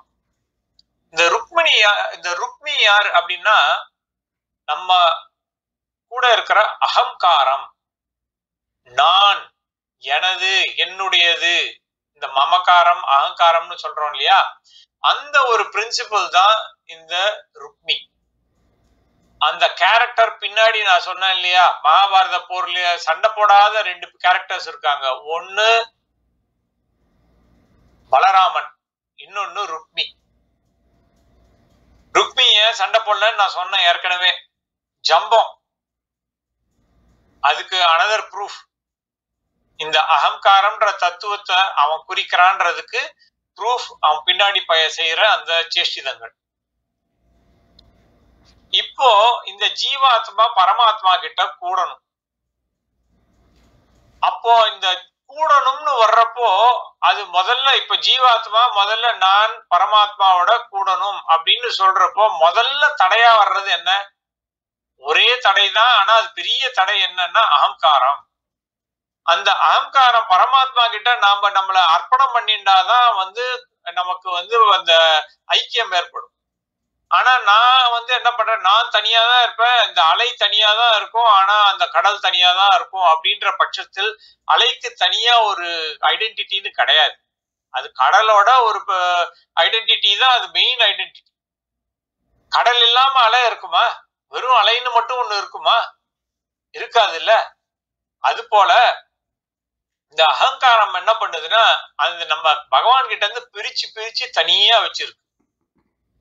இப்போ இந்த சிசுபாலன் யார்? சிசுபாலன்றது நம்ம சிசுபாலன் கூட இருக்கிற இந்த க- ஜால்ரா ராஜா அவங்க எல்லாம் யாரு அப்படின்னா அவங்க நம்மளுடைய இந்த சம்சாரம். இந்த சம்சாரம்ன்ற சாக்கடை தான் வந்து சிசுபாலன். இந்த ஜீவாத்மா பரமாத்மா கிட்ட கேக்குது என்ன இந்த சம்சார சாக்கடையில இருந்து சாக்கடையில விழறதுக்கு முன்னாடி இப்ப பகவானுக்கு நான் வந்து நைவேத்தியம் பண்றதுக்கு கீழே வச்சிருக்கேன். அப்படி க- கையில இருக்கிறது கீழே இருக்கிற பக்கத்துல இருக்கிற சாக்கடையில விழாம பாத்துக்கோ. பகவானுக்கு நைவேத்தியம் பண்ணியிருக்கிற இந்த பூவை வந்து நீ வந்து சாக்கடையில விழுந்துருச்சுன்னா அப்புறம் எப்படி அந்த பூ எடுத்து பகவானுக்கு அர்ச்சனை பண்றது? அதனால இந்த சிசுபாலன்றவன் இந்த சம்சாரம்ன்ற சாக்கடைய குறிக்கிறான். அப்ப கூட இருக்கிற இந்த மற்ற ஆளுங்க யாரு? கூட இருக்கிற இந்த மத்த ஆளுங்க நம்மளுடைய வாசனாக்கள். இந்த ஜராசந்தன் தந்தாக்கரன் பவுண்டர்கன் இவங்கெல்லாம் யாருன்னா நம்ம வாசனாக்கள். இந்த வாசனாக்கள்லாம் நம்மள என்ன பண்ணுதுன்னா திருப்பி திருப்பி பிடிச்சு பிடிச்சு இந்த சிசுபாலன்ற சாக்கடையில நம்மள சம்சாரம்ன்ற இந்த சாக்கடையில அழுத்த பாக்குது. அப்போ இந்த சுழற்சியில இருந்து நம்ம வெளியில வரணும்னா நமக்கு பகவான் கிட்ட இன்ட்ரடியூஸ் பண்றதுக்கு ஒரு ஆள் வேணும். பகவானை நம்ம கிட்ட கொண்டு வர்றதுக்கு ஒரு ஆள் வேணும். அது ஒரு குரு. அப்போ நான் இருக்கிற நிலையில இருக்கிறவன்லாம் குருவா அப்படின்னா கிடையாது. இந்த குருன்றவர் பரமாத்மா கிட்ட நம்ம கிட்ட கொண்டு போறாரு அந்த குருவை தான் நம்ம இப்ப சொல்லிட்டு இருக்கோம். பகவானோட இணைச்சி வைக்கிறாரு அந்த அந்த ஒரு ஸ்பெஷல் குருவை தான் நம்ம இப்ப சொல்லிட்டு இருக்கோம். அப்போ இந்த குரு என்ன பண்றாருன்னா புருஷகாரம் பண்றாரு. புருஷகாரம்னா இங்க இருந்து அங்க போய் இவங்களுக்கு ஹெல்ப் பண்ணுங்க அப்படின்னு அந்த பக்கம் சொல்றது. அங்கிருந்து இங்க வந்துட்டு பாவம் இவங்க இவங்களை காப்பாத்துங்க இவங்களை வந்து ப்ளீஸ் இங்கதான் இருக்காங்க இவங்களை காப்பாத்துங்கன்னு சொல்றது. இத வந்து ஸ்ரீ வைஷ்ணவத்துல ரொம்ப விசேஷமா கொண்டாடுவாங்க. பட் எல்லா இடத்துலயும் நம்ம பாக்குறோம் நம்ம ஏற்கனவே பார்த்தோம் இல்லையா? ஹனுமான் என்ன பண்றாரு? இங்க இருந்து நேரா ராமன் இருக்கிற இடமே தெரியல. ராமன் இருக்கானா தேடுறானா தேடலையா? ஒரு இன்ஃபர்மேஷனும் சீதைக்கு தெரியாது. அப்போ பகவான் கிட்ட இருந்து ஒரு தூதுவன் மாதிரி போய் சீதே நீ கவலைப்படாத உன்னுடைய ம- மணாளன் உன்னதான் நினைச்சுக்கிட்டு மருகிட்டு இருக்கான். கட்டாயம் வருவான் கவலைப்படாத இதுதான் பகவான் அப்படின்னு ஒரு முத்திர மோதத்தை காமிச்சு அவனோட லட்சணங்களை காமிக்கிறார். சீதைக்கு அப்பவும் வந்து இதுவா இல்லை நீ அவனை டிஸ்கிரைப் பண்ணுன்னு சொல்றான். அப்போ ராமனை பத்தி எப்படி டிஸ்கிரைப் பண்றது? பட் இருந்தாலும் சீதைக்காக பண்ணணுமேன்றதுக்காக ராமனுடைய ரூபலாவண்யத்தை அவனுடைய லட்சணங்களை குணங்களை சொல்றான். அந்த அஹ், ஹனுமார் சொல்றார். சோ சீதா தேவி இருக்கிற இடத்த திரும்பி ராமர் கிட்ட கொண்டு வந்து ராமா சீதை அங்க எவ்வளவு கஷ்டப்பட்டு இருக்கா? அவளை உடனே போய் காப்பாத்தி ஆகணும். இந்த டைம் இல்லன்றா. ரெண்டு மாசம் முதல்ல சொன்னா இப்ப கிடையாது. டைம் ஒன் மந்த் தான் இருக்கு. நமக்கு அர்ஜென்ட்டா let's go let's go urgent urgent அந்த ஜீவாத்மாவை காப்பாத்து. இதுதான் ஒரு குரு பண்ற வேலை. அததான் புருஷகாரம்னு சொல்றான். இப்போ நாம வீட்டுல இருக்கிற விஷயத்த எதிர் வீட்டுல சொல்றது எதிர் வீட்டுல வந்து இங்க சொல்றோம் அது வந்து காசிப் இது அதுக்கு நேர் எதிர்ப்பதம். சரியா? சோ இப்போ பகவான் வந்து என்ன சொல்றாரு? ஏற்கனவே நம்ம இந்த குருன்ற ஸ்தானத்தை பார்த்தோம். இப்போ உண்மையான குரு யார்? அப்படின்னு நிறைய கேள்வி வந்திருந்தது. உண்மையான குரு நம்முடைய மனசுதான். இப்போ நம்ம ஜீவாத்மா என்ன பண்ணுதுன்னா யார அனுப்புறது? பகவான் கிட்ட யார அனுப்புறது? ஒரு இடத்துல உங்களை உங்களை பிடிச்சி நான் ஜெயில போட்டு வச்சிருக்கேன். அப்போ பகவானை கும்பிட முடியுமா? உங்க மனம் மூலமா நீங்க கும்பிடலாமே. நீங்க எந்த நிலையில இருந்தா என்ன? சம்சாரம்ன்ற அந்த ஜெயில போட்டு வச்சிருக்கிறதா கூட அந்த மனதின் மூலமா போக முடியுமே. அப்போ அந்த மனசு அங்க போறது பகவான் கிட்ட போறது. ஏன்னா மனசு வந்து லோகத்துக்கும் போகும் பகவான் கிட்டயும் போகும். ஆனா ருக்மிணி என்ன பண்றான்னா அந்த ஒரு சீலமான ஒரு மனதை டிசிப்ளின்டான அந்த ஒரு மனச பகவான் கிட்ட அனுப்புறான். இததான் பின்னாடி பகவான் வந்து சாப்டர் சிக்ஸ் ஸ்லோகா ஃபைவ்ல ஒரு ஃபார்முலா மாதிரி கொடுக்கிறார்.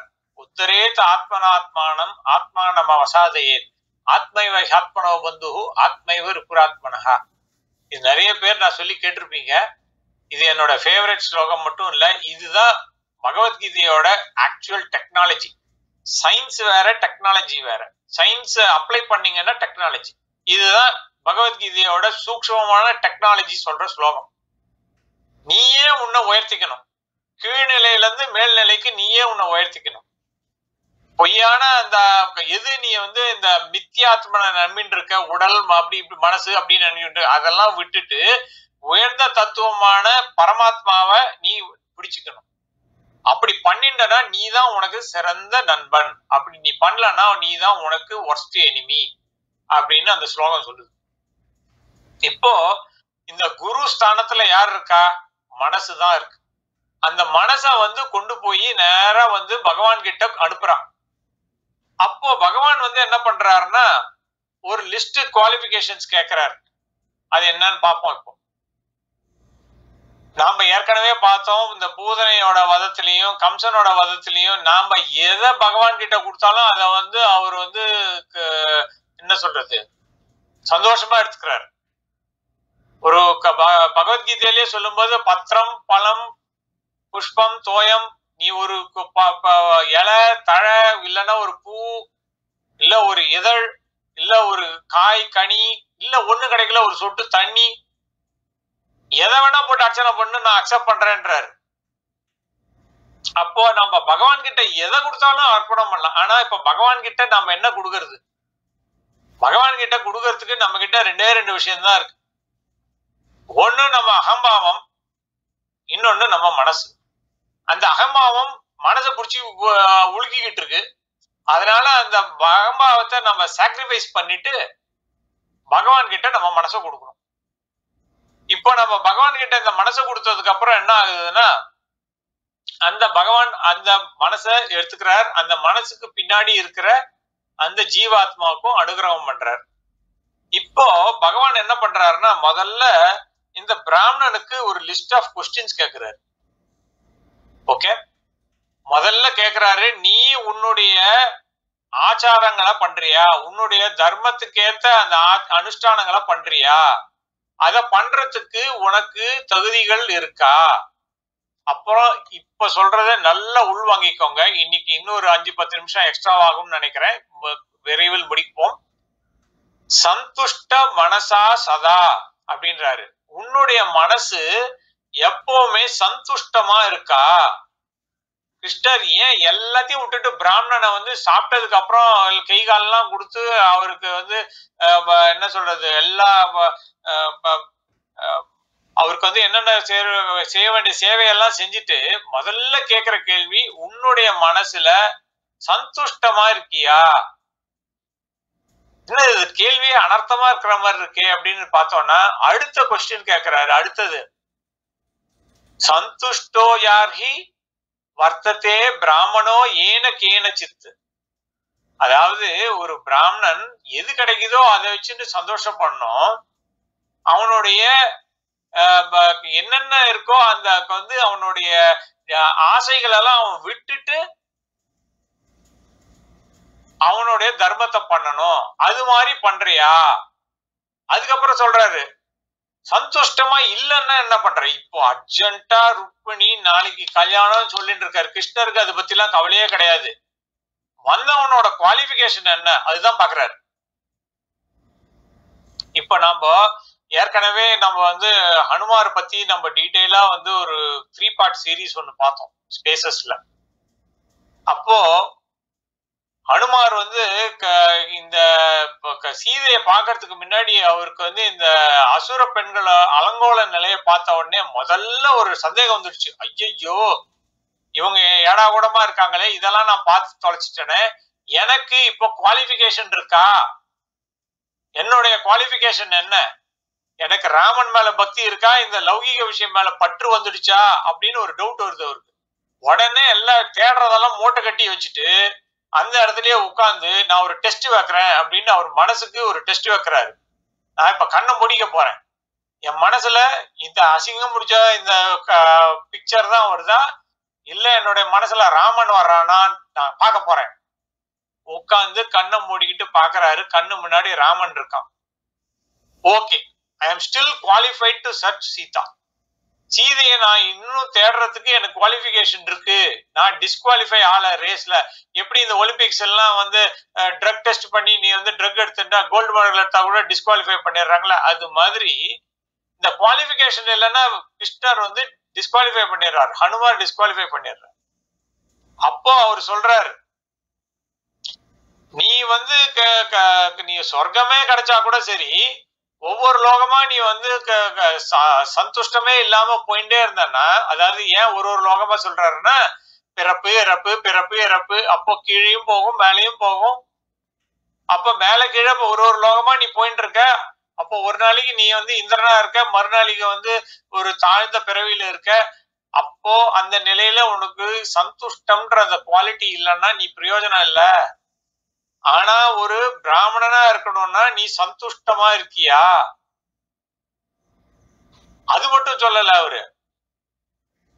அவருக்கு வந்து விப்ரான் ஸ்வலாபா சந்துஷ்டான் எவ்வளவு வாட்டி சந்துஷ்டம் சந்துஷ்டன்ற அந்த வேர்டை திருப்பி திருப்பி திருப்பி திருப்பி ஒரு அரை டசன் வாட்டி சொல்றாரு. அப்போ அந்த ச- சந்துஷ்டமா இருக்கிறவனுக்கு வந்து நான் தலை வணங்குகிறேன்றார். யாரெல்லாம் அந்த மாதிரி பிராமணனா இருக்கானோ யாரெல்லாம் அது மாதிரி ஒரு அவனுடைய அகங்காரத்தை விடுத்து ஆசையை விடுத்து எல்லா ஆசைகளையும் விட்டுட்டு நான் மட்டுமே வேணும் பற்றுக பற்றற்றான் பற்றினை பற்றுக அப்பற்று விடற்குன்னு வடுல வந்து அத்வேஷ்டா சர்வபூதானாம் மைத்ர கருணை ஏவச்ச. நிர்மமோ நிரங்கார சமதுக்க சுக க்ஷமி. சந்துஷ்டா சததம் யோகி யதாத்மா திருட நிச்சய மை அர்ப்பித்தம் மனோபுத்தி யோ மத் பக்தா சா மே பிரியா எந்த பக்தன் எனக்கு ஃபேவரட்டா இருக்கான் அப்படின்னு சொல்றப்போ யாரெல்லாம் சந்துஷ்டமா இருக்காங்களோ அவங்க தான் எனக்கு நெருக்கமா இருக்காங்க அவங்களதான் எனக்கு பிடிக்குது அப்படின்றாரு. அப்ப யார் இந்த சந்துஷ்டம் அப்படின்னா என்ன? போதும் என்ற மனமே பொன் செய்யும் மருந்து அப்படின்னு சொல்றாரு. நம்ம சுவாமி சிவானந்தரை பத்தி அடிக்கடி சொல்லியிருக்கேன். அவர் ஒரு ஸ்டேட்மெண்ட் சொன்னார். Contentment is natural wealth luxury is artificial poverty அதாவது சந்துஷ்டமா இருக்கிறது நமக்கு இயற்கையிலே கிடைக்கும் ஒரு பொக்கிஷம். ஆனா ஆடம்பரம்ன்றது ஒரு செயற்கையான போலியான ஏழ்மை அப்படின்றாரு. அப்போ எது கிடைக்குதோ நமக்கு வந்து அந்த சந்தோஷத்தை கொடுக்குதா? மோட்சத்துக்கு போறதுக்கு நாலு ஹண்ட்ரட் பர்சன்ட் கேரண்டீடு வழி சொல்றாரு யோக வசிஷ்டத்துல. சாந்தி சந்தோஷ சத்சங்கா விசாரம். இப்படி நாலு விஷயத்த சொல்றாங்க. அதுல நாலுல ஏதாவது ஒண்ணு பிடிச்சுக்கிட்டா கூட நம்மளுக்கு ஹண்ட்ரட் பர்சன்ட் கேரண்டி அதுல என்ன வருது? சந்துஷ்டமும் வருது.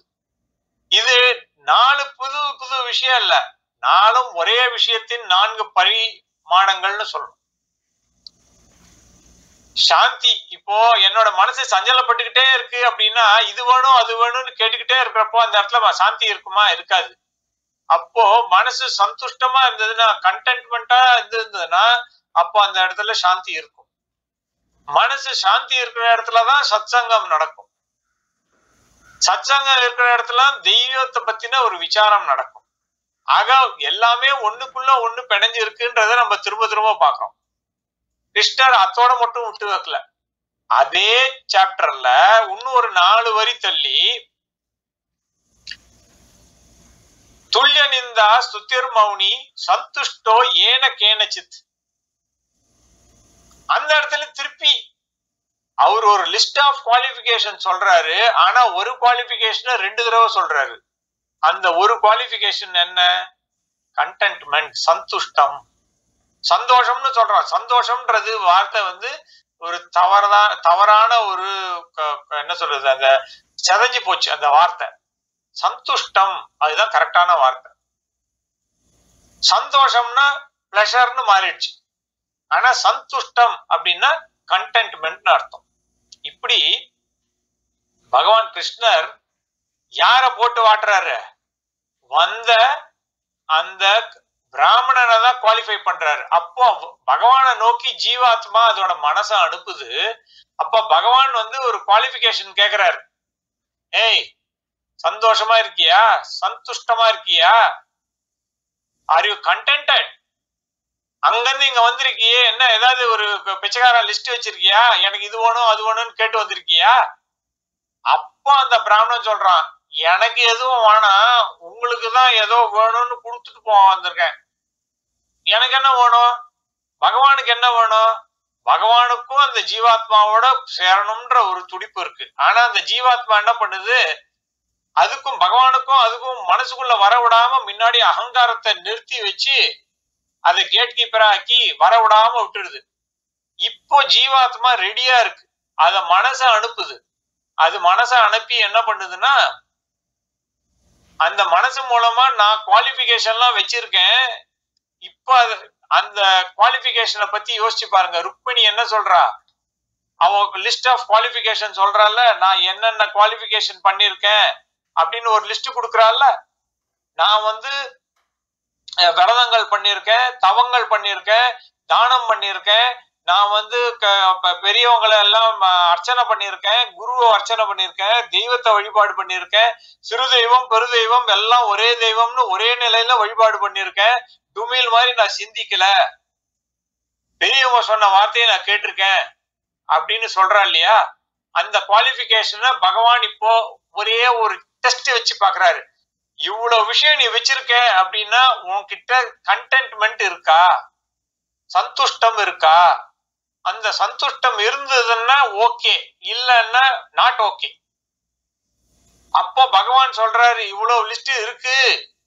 சந்தோஷமா தான் நானும் இருக்கேன். நான் எனக்கு எதுவுமே தேவையில்லை. உனக்காக தான் வந்திருக்கேன். பகவான் மையர்ப்பித்த புத்தி.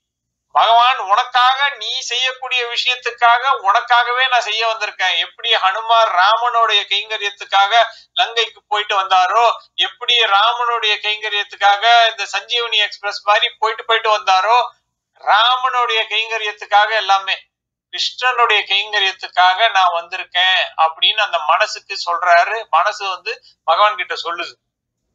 அப்போ கிருஷ்ணர் சொல்றாரு ஓகே வா நம்ம உடனே போலாம் அப்படின்னு போறாரு. சோ இப்ப இதுல இருந்து என்ன தெரியுதுன்னா இந்த என்டையர் கதை ஒவ்வொரு ஜீவாத்மாவோட ஒரு கதறல். அது சம்சார சாகரத்துல இருக்கிற மட்டும் பகவான் கண்டுக்கிறது இல்ல ஏன்னா அதுக்கே அந்த க- அல்ப சுகத்துக்காக அது தேடிக்கிட்டு போகுது. ஆனா ஒரு நிலை வரும்போது அதுக்கு பகவானை பத்தி கேட்டு கேட்டு கேட்டு ஆஹா இந்த பகவான் இந்த பகவான் இப்படி அந்த பகவான் இப்படி பரமாத்மாவோட கல்யாண குணங்கள் இப்படி கேட்டு தெரிஞ்சுக்கிட்டு என்ன ஆகுதுன்னா அந்த ஜீவாத்மாவுக்கு ஒரு ஏக்கம் ஏற்படுது.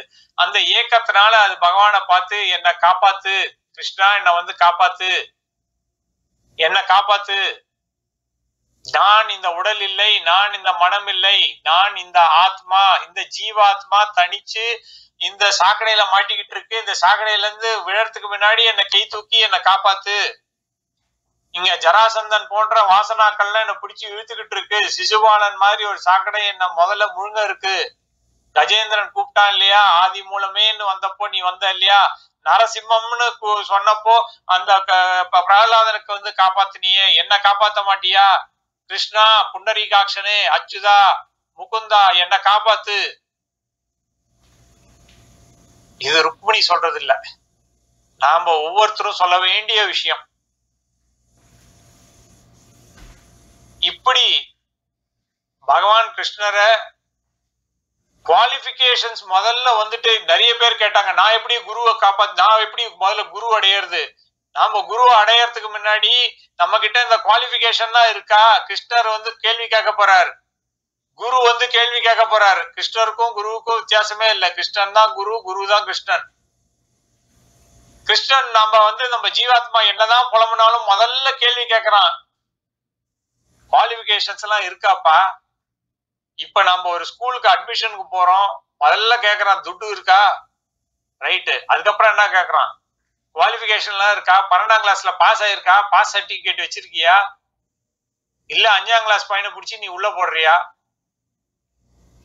பகவான் கிருஷ்ணர் முதல்ல எக்ஸ்பெக்ட் பண்றது என்னன்னா அந்த ஜீவாத்மா உத்தரேத்த ஆத்மனாத்மானம் நீயே உன்னுடைய கீழ்நிலையில இருந்து மேல்நிலைக்கு வருதுவையா வந்துட்டியா?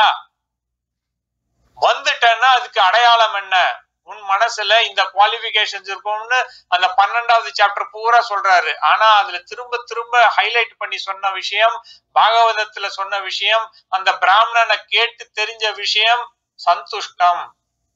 எது கிடைச்சாலும் வாழ்க்கையில சந்துஷ்டமா இருக்கோமா இது சாதாரணமா ஏதோ ஒண்ணும் கிடைக்கல எட்டாத பழம் புளிக்கும்ன்ற மாதிரி அந்த மாதிரி ஒரு சந்துஷ்டம் கிடையாது. இது ஆத்ம ஞானத்தால எல்லாமே பரமாத்மாவின் ஒரு பிரதிபலிப்பு. எது கிடைத்தாலும் என் கர்மாதீனமா கிடைக்கிறது. நான் என்னுடைய கர்மாவை செய்வேன் கர்மாவை விடாமல் செய்வேன் பகவத் அற்பிதமா செய்வேன் அந்த கிருஷ்ணனுக்காக செய்வேன் அவன் பிரீத்திக்காக செய்வேன் அவனுக்காகவே நான் எனக்காக தான் அவன் அப்பா வருவான். அப்படின்ற ஒரு நம்பிக்கை எனக்கு இருக்கு அப்படின்ற நிலையில ஒரு முமுட்சத்துவ நிலையில நம்ம பேசிட்டு இருக்கோம் சோ அந்த நிலையில இருக்கிற சந்துஷ்டம் ருக்மிணி கிட்ட இருக்குன்னு தெரிஞ்ச உடனே கிருஷ்ணன் வர்றான். கிருஷ்ணன் மட்டும் வரல அவன் கூட அத்தனை பரிவாரங்களும் வருது. அத்தனை சேனையும் வருது. அவனுடைய முழு போர்ஸ் எடுத்துன்னு வந்து காமிக்கிறான். நம்ம கிட்ட நாம வந்து ஆயிரம் வாசனாக்கள் நம்ம கிட்ட நம்ம பிடிச்சு இழுத்துக்கிட்டு இருக்கலாம். என்கிட்ட கோடி கணக்கான வந்து கெ- ஜென்மத்துல நான் செஞ்ச பல கோடி கெட்ட கர்மங்கள் என்னை பிடிச்சு இழுக்கலாம். ஆனா நான் என்னை பியூரிஃபை பண்ணிட்டு பகவான் கிட்ட போயிட்டு நான் அப்ரோச் பண்ணி கரெக்டா அப்ரோச் பண்ணினா அவன் வந்து அந்த வாசனாக்கள்ல இருந்து என்னை அடிச்சு அந்த வாசனாக்கள் முன்னாடியே என்ன அதை வச்சே வச்சு செய்யறாங்கன்னு சொல்றாங்களா அதை வச்சே அதை செஞ்சு நம்மள அவங்க கிட்ட இருந்து காப்பாத்திக்கிட்டு கூட்டிட்டு போறாரு. போகும்போது நம்முடைய அகங்காரம் விடாது. பகவான் சுவாமி சிவானந்தர் அந்த அகங்காரத்துக்கு ஒரு ஸ்பெஷல் இது வச்சிருக்காரு பேரு. கமாண்டர் இன் சீஃப் இந்த கமாண்டர் இன் சீஃப் சாதாரணமா கண்ணுக்கு படாது. கடைசியை மட்டும் விடாது. சோ இந்த கமாண்டர் இன் சீஃப் தான் வருது. இந்த மகாபாரத சொர்க்காரோகண பருவம் அப்படின்னு கடைசியா பதினெட்டாவது பருவம் வரும். அந்த பருவத்துல எல்லாரும் சொர்க்கத்துக்காக இந்த பஞ்ச பாண்டவர்களும் திரௌபதியும் போயிட்டு இருக்காங்க அப்போ ஒவ்வொருத்தரா விழறாங்க. அப்ப விழும்போது அவங்களுக்கு இருக்கிற அந்த பிளாஸ் எல்லாம் சொல்றான் யுதிஷ்டரன். அது போல இந்த நம்ம அகங்காரம் என்ன பண்ணும்னா பல ரூபத்துல பல பிளாஸா நம்ம கிட்ட நம்ம வாழ்க்கையில பல என்ன சொல்ற தவறுதல் நம்ம செய்யறது பாபத்தின் பக்கம் நம்ம தள்ளிக்கிட்டு இருக்கோம் அஜ்ஞானத்தின் பக்கம் நம்ம தள்ளிக்கிட்டு இருக்கோம் இந்த ஆணவம் கண்மம் மாயன்ற மலத்தின் பக்கம் தள்ளிக்கிட்டு இருக்கோம். பட் ஃபைனலா அது பகவானை எதிர்க்கிறதுக்கு அதுவே வரும். அப்போ பகவான் அத தலையில தட்டி போ அப்படின்வாரு இப்போ நல்லா கவனிக்க வேண்டிய விஷயம் என்னன்னா நிறைய ரிஷிகள்லாம் அவங்க அந்த செல்ஃப் ரியலைசேஷன் அந்த பகவானை பத்தின ஃபுல் நிலையை தெரிஞ்சுக்கிட்ட அப்புறம் கூட அவங்க கிட்ட அந்த சில குணாதிசயங்கள் ஒட்டிக்கிட்டு இருக்குல்ல? அது போல பகவான் கூட நம்ம ருக்மிணி ஐக்கியமானா கூட எப்படி ருக்மிணி வந்து ஒட்டிக்கிட்டு இருக்கான்? தனியா இருக்கான். அவனை தனியா பின்னாடி வந்து நம்ம பலராமரே தான் கொல்ல போறாரு. அது வேற விஷயம். அது வேற ஒரு டைம் நம்ம டீட்டெயிலா பார்ப்போம். எப்படி இந்த அகங்காரம் ஒட்டிக்கிட்டு இருக்கோ அப்போ இந்த ரிஷிகள் எல்லாம் கிட்ட கூட பாத்தீங்கன்னா சின்ன சின்ன டிஸ்குவாலிபிகேஷன் ஆற மாதிரி சில குவாலிட்டிஸ் இருக்கும். அந்த டிஸ்குவாலிபிகேஷன் உங்களுக்கோ எனக்கோ இருந்தா அது டிஸ்குவாலிபிகேஷன் ஆனா இந்த ரிஷிகளுக்கு அது ஒன்றும் ப்ராப்ளமே இல்லை. உதாரணத்துக்கு ஆஹ், விஸ்வாமித்திரருக்கு அவருக்கு ஒரு அக்செப்டன்ஸ் தேவைப்படுது. வசிஷ்டர் வாயால பிரம்மரிஷி அப்படின்ற ஒரு அக்செப்டன்ஸ் தேவைப்படுது. அதனால எப்ப பார்த்தாலும் அவர்கிட்ட வம்புக்கு போயிட்டே இருக்காரு. துர்வாசருக்கு தொட்டா கோவம் வந்துருது. இப்படி ஒவ்வொரு ரிஷிக்கும் அவங்களுக்கு இங்கிலீஷ்ல ஒரு வார்த்தை இருக்கு ஃபாய்பிள் அவங்களுக்குன்னு சொல்லிட்டு ஒரு குணாதிசயங்கள் இருக்கு. ஒரு ஒரு சின்ன என்ன சொல்றது ஒரு ஒரு குறை. அந்த குறை என்னதுக்கு ரெப்ரசன்ட் பண்ணுதுன்னா இந்த ருக்மிங்கிற அந்த அகங்காரத்தை ரெப்ரசன்ட் பண்ணுது. ஆனா பரமாத்மா கிட்ட ஐக்கியமாகிறதுக்கு டோட்டலா அது போகணுன்ற அவசியம் கிடையாது. அதையும் காமிக்குது. சோ இப்படி பகவான் கிருஷ்ணர் ருக்மிணி அப்படின்ற ஒரு உன்னதமான கல்யாணத்தை நம்ம இப்போ அனுபவிச்சோம். இந்த ருக்மிணி கல்யாணம் நம்ம ஒவ்வொரு ஜீவாத்மனுக்கும் நடக்கணும். ஒவ்வொரு ஜீவாத்மாவும் அந்த பகவான் கிருஷ்ணரோட லீலைகளை மனசுல திரும்ப திரும்ப திரும்ப கேட்டு அத நம்முடைய வாழ்க்கையில கொஞ்சம் கொஞ்சமா அனுபவிச்சு திரும்ப திரும்ப அந்த நம்முடைய நல்ல குவாலிபிகேஷன்ஸை இன்க்ரீஸ் பண்ணிக்கிறது பார்க்கணும். ஏன்னா கிருஷ்ணர் வைக்கிற ஃபைனல் டெஸ்ட் டெஸ்ட்ல பாஸ் ஆனாதான் உனக்கு வந்து அப்ளிகேஷனே அப்ரூவ்டு அந்த அப்ளிகேஷனை அப்ரூவ் பண்றது யாரு? நாமளே தான் அப்போ சேம் சைடு கோல் போட்டு நாமே நமக்கு ஆப்பு வச்சுக்காம இந்த சொந்த காசுல சூனிய வச்சுக்காம இந்த ஜீவாத்மா என்ன பண்ணணும்னா பரமாத்மா கிட்ட போகணும்னா பரமாத்மா பற்றின சிந்தனை வேணும். சத்சங்கம் வேண்டும். அந்த சத்சங்கம் இருக்கிற மட்டும் நமக்கு பகவானுடைய கனெக்ஷன் இருந்துகிட்டே இருக்கும்.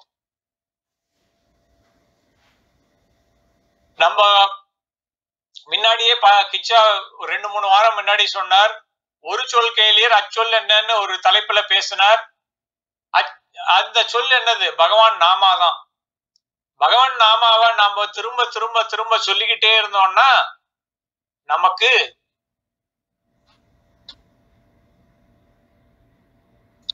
அவன்கிட்ட மேல இருக்கிற ஒரு பற்று அதிகமாகும். அவன்கிட்ட ஒரு நெருக்கம் ஏற்படும். சோ பகவான் நாமாவை சொல்லிட்டு இதை நிறைவு பண்ணலாம்.